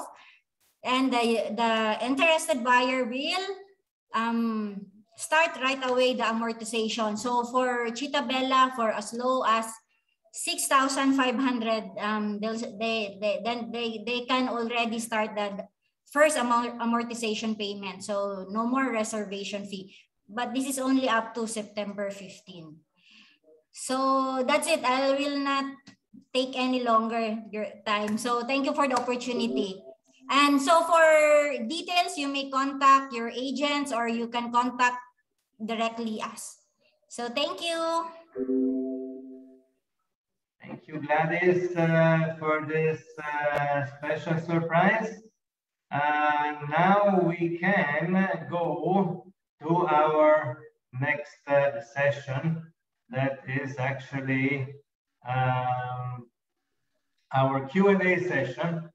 Uh, let me invite immediately architect Nati uh, for a special question. Uh, architect, we had this question coming up also among our viewers. What is the construction update for Primavera City? Uh, is handover near?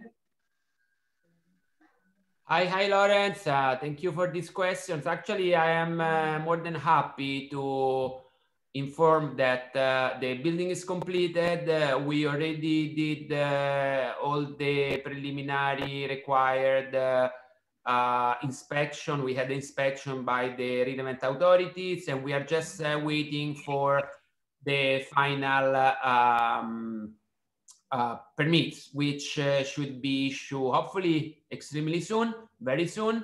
Uh, and uh, um, as a matter of fact, Gladys, together with the operation group, are already planning for the turnover uh, process, which will be done in, in phases, obviously, floor by floor. So for any additional more detailed um, information, please uh, contact Gladys and uh, hopefully we will do a very nice celebration and, an event because we are all looking forward uh, uh for the turnover of the project. And uh, as you know, Lawrence, because you know the building very well, we have an extremely beautiful, super beautiful event area, open and indoor, outdoor and indoor on the 11th floor uh, with an amazing view of the bay. So I really look forward to celebrate this uh, uh, great uh, uh, achievement for us, for which we have been working uh, hardly for the last few years. As a, there was a delay. I mean, I do not, I cannot hide that. The delay was due also the COVID, uh, the restriction, which made uh, quite uh, difficult uh, to complete the building uh, within the time frame, even if we are within the time frame, because uh, for the permits we have from HLURB, which is now DHSUD, we had we need to complete the building before 2022, and it will be completed in 2021. So. look forward for good news shortly, and okay, looking forward to celebrate this uh, again, big event for us, big milestone. So thank you, Lawrence, and thank you for the person who asked this question.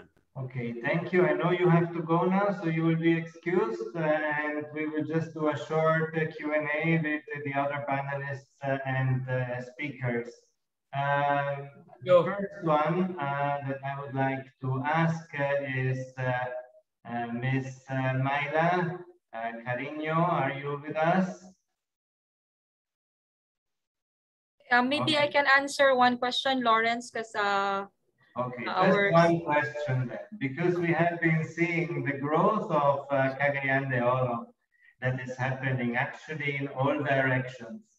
So, and uh, we have also heard that uh, one of the hotspots for investments, let's say the BGC of uh, Cagayan de Oro, is uh, uptown. So how do you see uptown and even further on uh, uh, being developed. I'm talking about uh, Uptown and Lumbia and maybe beyond.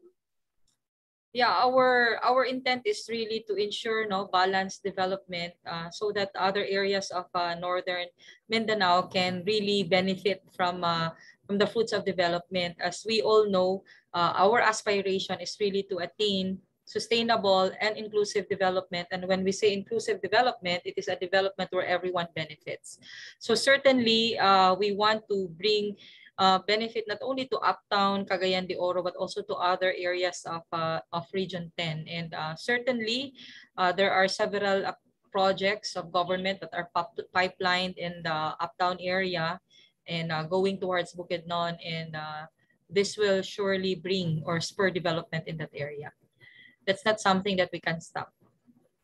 Okay, we have seen, in fact, uh, development starting, uh, as I said before, towards uh, yes. Iligan, towards uh, the opposite direction, uh, Gingoog or Balingasag. And so it's really something very exciting that everyone is involved. So thank you again for your uh, precious comments. I really appreciate your presence and I will let you go now too. I know you Thank are you. busy. Thank you so much. Our secretary is actually here. Okay, That's why. fantastic. Thank you. Thank you very much. Salamat, Lawrence. May hapon sa tanan.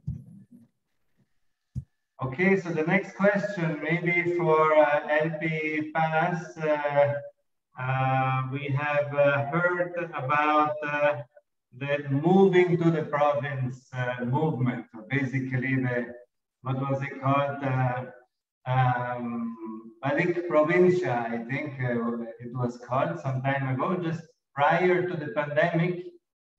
And uh, this trend has been accelerated uh, through this COVID. So people have been running away from uh, Metro Manila, one, running away even from Metro Cebu. And many Cagayanons and even non-Cagayanons have uh, immigrated uh, in Region 10 and uh, also Bukidnon. Uh, so Cagayan de Oro, Bukidnon has been quite a recipient for these people. So have you noticed this trend also? Uh, the question is, uh, uh, what's my comment regarding migration, reverse migration? Yes, yes. Metro Manila. Well, i- it's it's it's really happening right now, uh, especially that you find Metro Manila to be, uh, you know, you uh, the ECQ uh, strict lockdowns there. Uh, the people that have, you know, that come from the provinces are now seeking, you know, uh, cleaner pastures in a way, uh, because you know the, Manila is really a hellhole. You know, if, if I may speak about myself, you know, I have a condominium uh, in uh, Resorts World in uh, Pasay. It's quite convenient because it's near the NAIA 2. So, you know, you can almost walk to the terminal. And that was the very reason why uh, uh, we bought that condominium about uh, less than 10 years ago.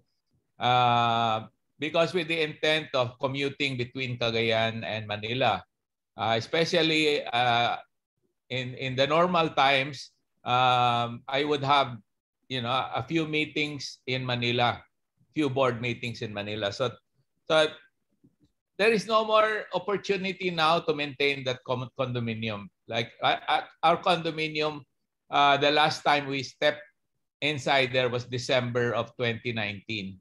Can you imagine that the, the condominium without any occupant is gonna be uh, decrepit by the time you visit because it will be full of bugs and dust and what have you.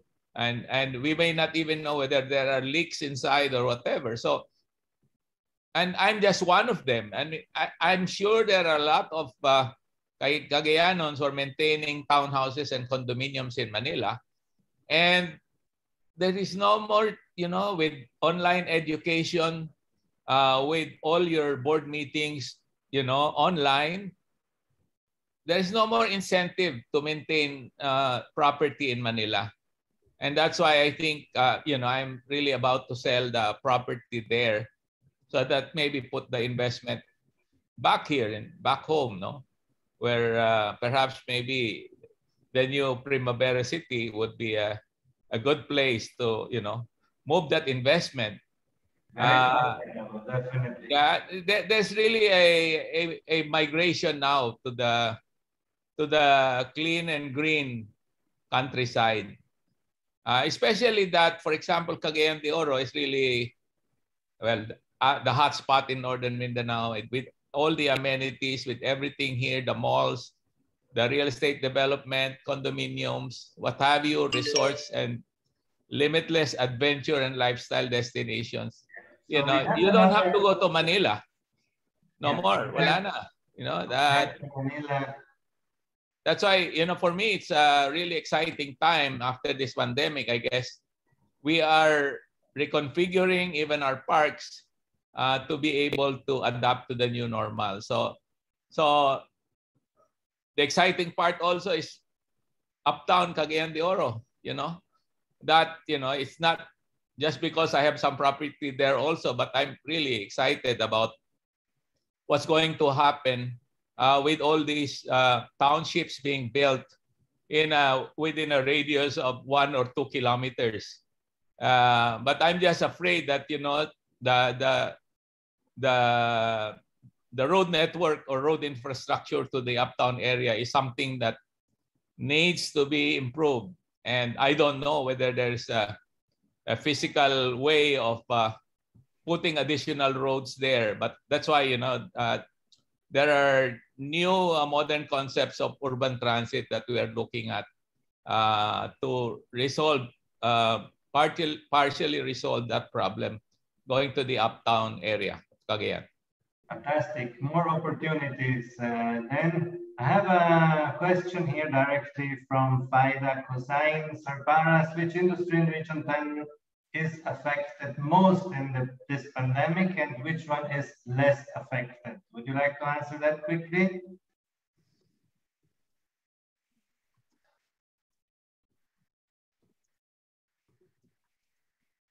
And uh, yep. I repeat the question? Which industry in Region 10 is affected most in this pandemic time and which one is less affected? Just brief. Uh, are you talking to me, uh, asking yes, me? Yes, Oh, okay. Yeah, well, uh, the least affected, I, I, I would say, would be the essential, uh, you know, essentials business. That would be food, shelter, connectivity, electricity, and water. You know, those are the essentials that uh, that people demand, and and that's why you know that there's opportunity in every aspect of the essential uh, services uh, that is needed, and, and that's why you know the those essential services have not experienced a downturn during the pandemic.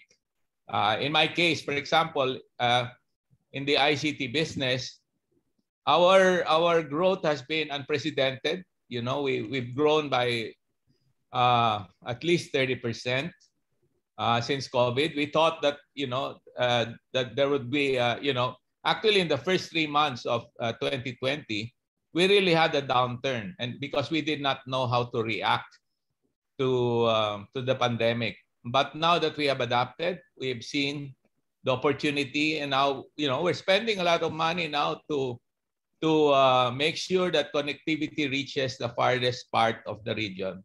So we're, we're going even beyond Cagayan de Oro. Okay, thank you very much. Uh, and uh, thank you again for uh, being here. So let me go to the next question that is for Herbert. Uh, and uh, I saw that he actually already answered the question, but how long does it take to get a loan from BPI? I think that was the question from one of our viewers. All right. Yeah, thank you for that question. Uh, you know, we, we recently, actually, we will be actively promoting it, uh, especially the, in the middle of this month. We, we will be we will be implementing our conditional approval program. What is this?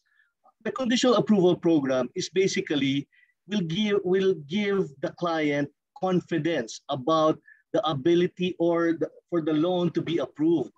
Uh, is that a final approval? No, not yet. However, we will be basing the, the, the, uh, the conditional approval on, the, on what the client has claimed in the application form.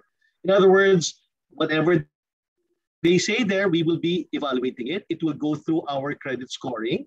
And based on our credit score, if it will pass, therefore, we will be able to turn around and give back the conditional approval to the client all the client needs to do now is just to substantiate all the claimed information written in the application form. If this is now satisfied, that, that conditional approval will become a final approval. So all the, the client, all he needs to do would be just to truthfully answer or, or fill up the, the, the, the form. And, and if that is substantiated, the, the conditional approval will become a final approval so that we will be able to give confidence to the client. At the end of the day, this is what we learned. For a, a number one, uh, Lawrence, this is what I learned. That's why I was really happy with uh, what Alex presented prior to my presentation. I think it was an excellent segue. She, what she presented were opportunities. And then when we came in, it's like giving or are, helping the clients take advantage of those opportunities. Number one, the, the rates are really low now. Uh, the, the rates that we currently we are currently offering, especially the, the, the, the promo that we have with IDC, these rates were the rates that you would see uh, well, four or five years ago, wherein the rates were really cutthroat. It, we are now back to that level again. So the rates are low, and then the, the turnaround time will be faster because of the conditional approval. And guess what? We will make it even easier and sweeter for everyone. How do we plan to do this? This month, together with our conditional approval, we are launching our all-in financing. What does this mean? This means that even the registration uh, fees, the other, the other fees that the banks would normally charge together with the loan. Of course, a, a lot of this, uh, the, a, a big chunk of this amount goes to the government, but now we can make this part of the loan so that it will become more affordable for the client, for the applicant. There will be less cash out because now it will be tucked into the loan, which will enjoy the very low rate that we are now offering. So I think this is an exacting time. Okay, fantastic. Thank you very much. I hope that uh, helped to answer the question. So uh, now let us have a last uh, question uh, for uh, Alex. Um, we have a question uh, about real estate practitioners in this pandemic. What strategy can you suggest for a sustainable sales production? So you already can nurture your uh, practitioners now. You're on mute, uh, Alex. Hello. Yes.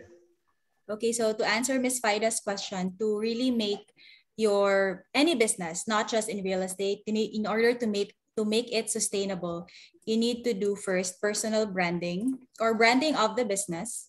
But for real estate practitioners, you can do personal branding.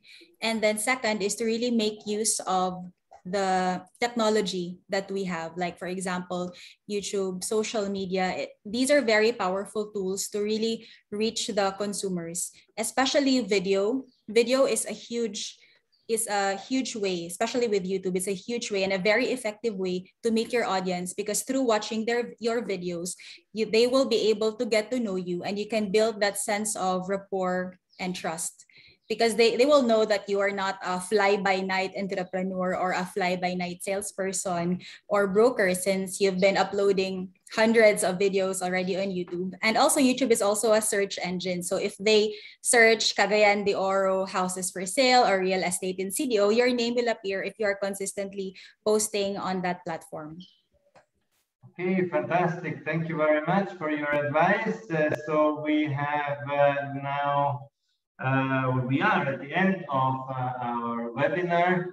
Um, I think uh, uh we can now take a, selfie. I would like to invite everyone or those who can to on their cameras and we will just uh, have uh, a um, screenshot where we take our pictures with a smile uh, so we can tell those that have not assisted this uh, event uh, what they missed. So we can go ahead. So uh, one, two, three, smile. So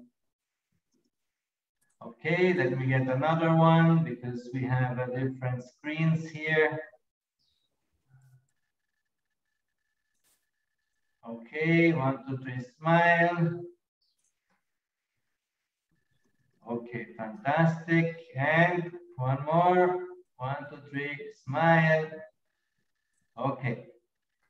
So thank you very much. Uh, this we are now at the end of uh, our presentation.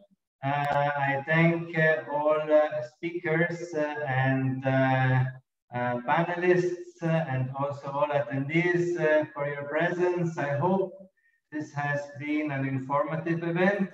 I hope you have discovered something new, especially maybe about uh, real estate, investing, and uh, that uh, Cagayan de Oro is uh, the best uh, hotspot for uh, real estate right now in the region, uptown, top of all, and the condominium of uh, Italpinas Development Corporation with Primavera City and where Ms. Gladys Echano has given us a great, great offer that you can avail. Okay, so thank you very much and uh, have a nice uh, weekend. Thank you, everyone. Thank you, IDC. Thank you. Thank you, Lawrence. Thank you, everyone. Bye, guys. Thanks, Lawrence. Thank you.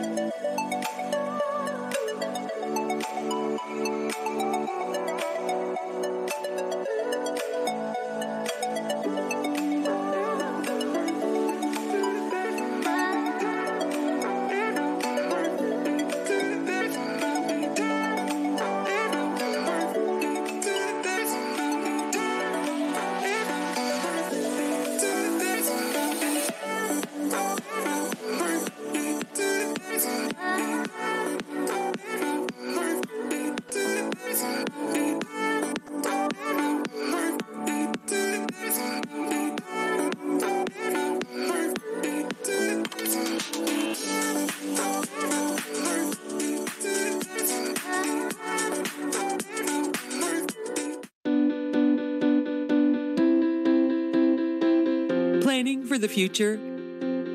Searching for a wise investment? Looking for your own place? We all dream of being financially set for life. Although you can save money in the bank, that won't protect you from inflation. There is a better way to make your money work for you, such as investing in smart real estate that provides high appreciation and value. Regular cash as passive income elegant design and a healthy lifestyle. With a property investment from Italpinas, you can grow your money and protect it from inflation. Earn hassle-free rentals by leaving the job to our property management service handled by Damiani. And enjoy green living with fresh air, natural light, less cost for electricity and water, and to protect the environment. Enjoy living in multi-awarded Italian design buildings. Price of one cup of coffee per day, you can gain peace of mind and secure your future with a new home from Italpinas. Contact our property specialist to learn more about our flexible payment schemes. Invest for your future. And start your elegant green living lifestyle today with Italpinas.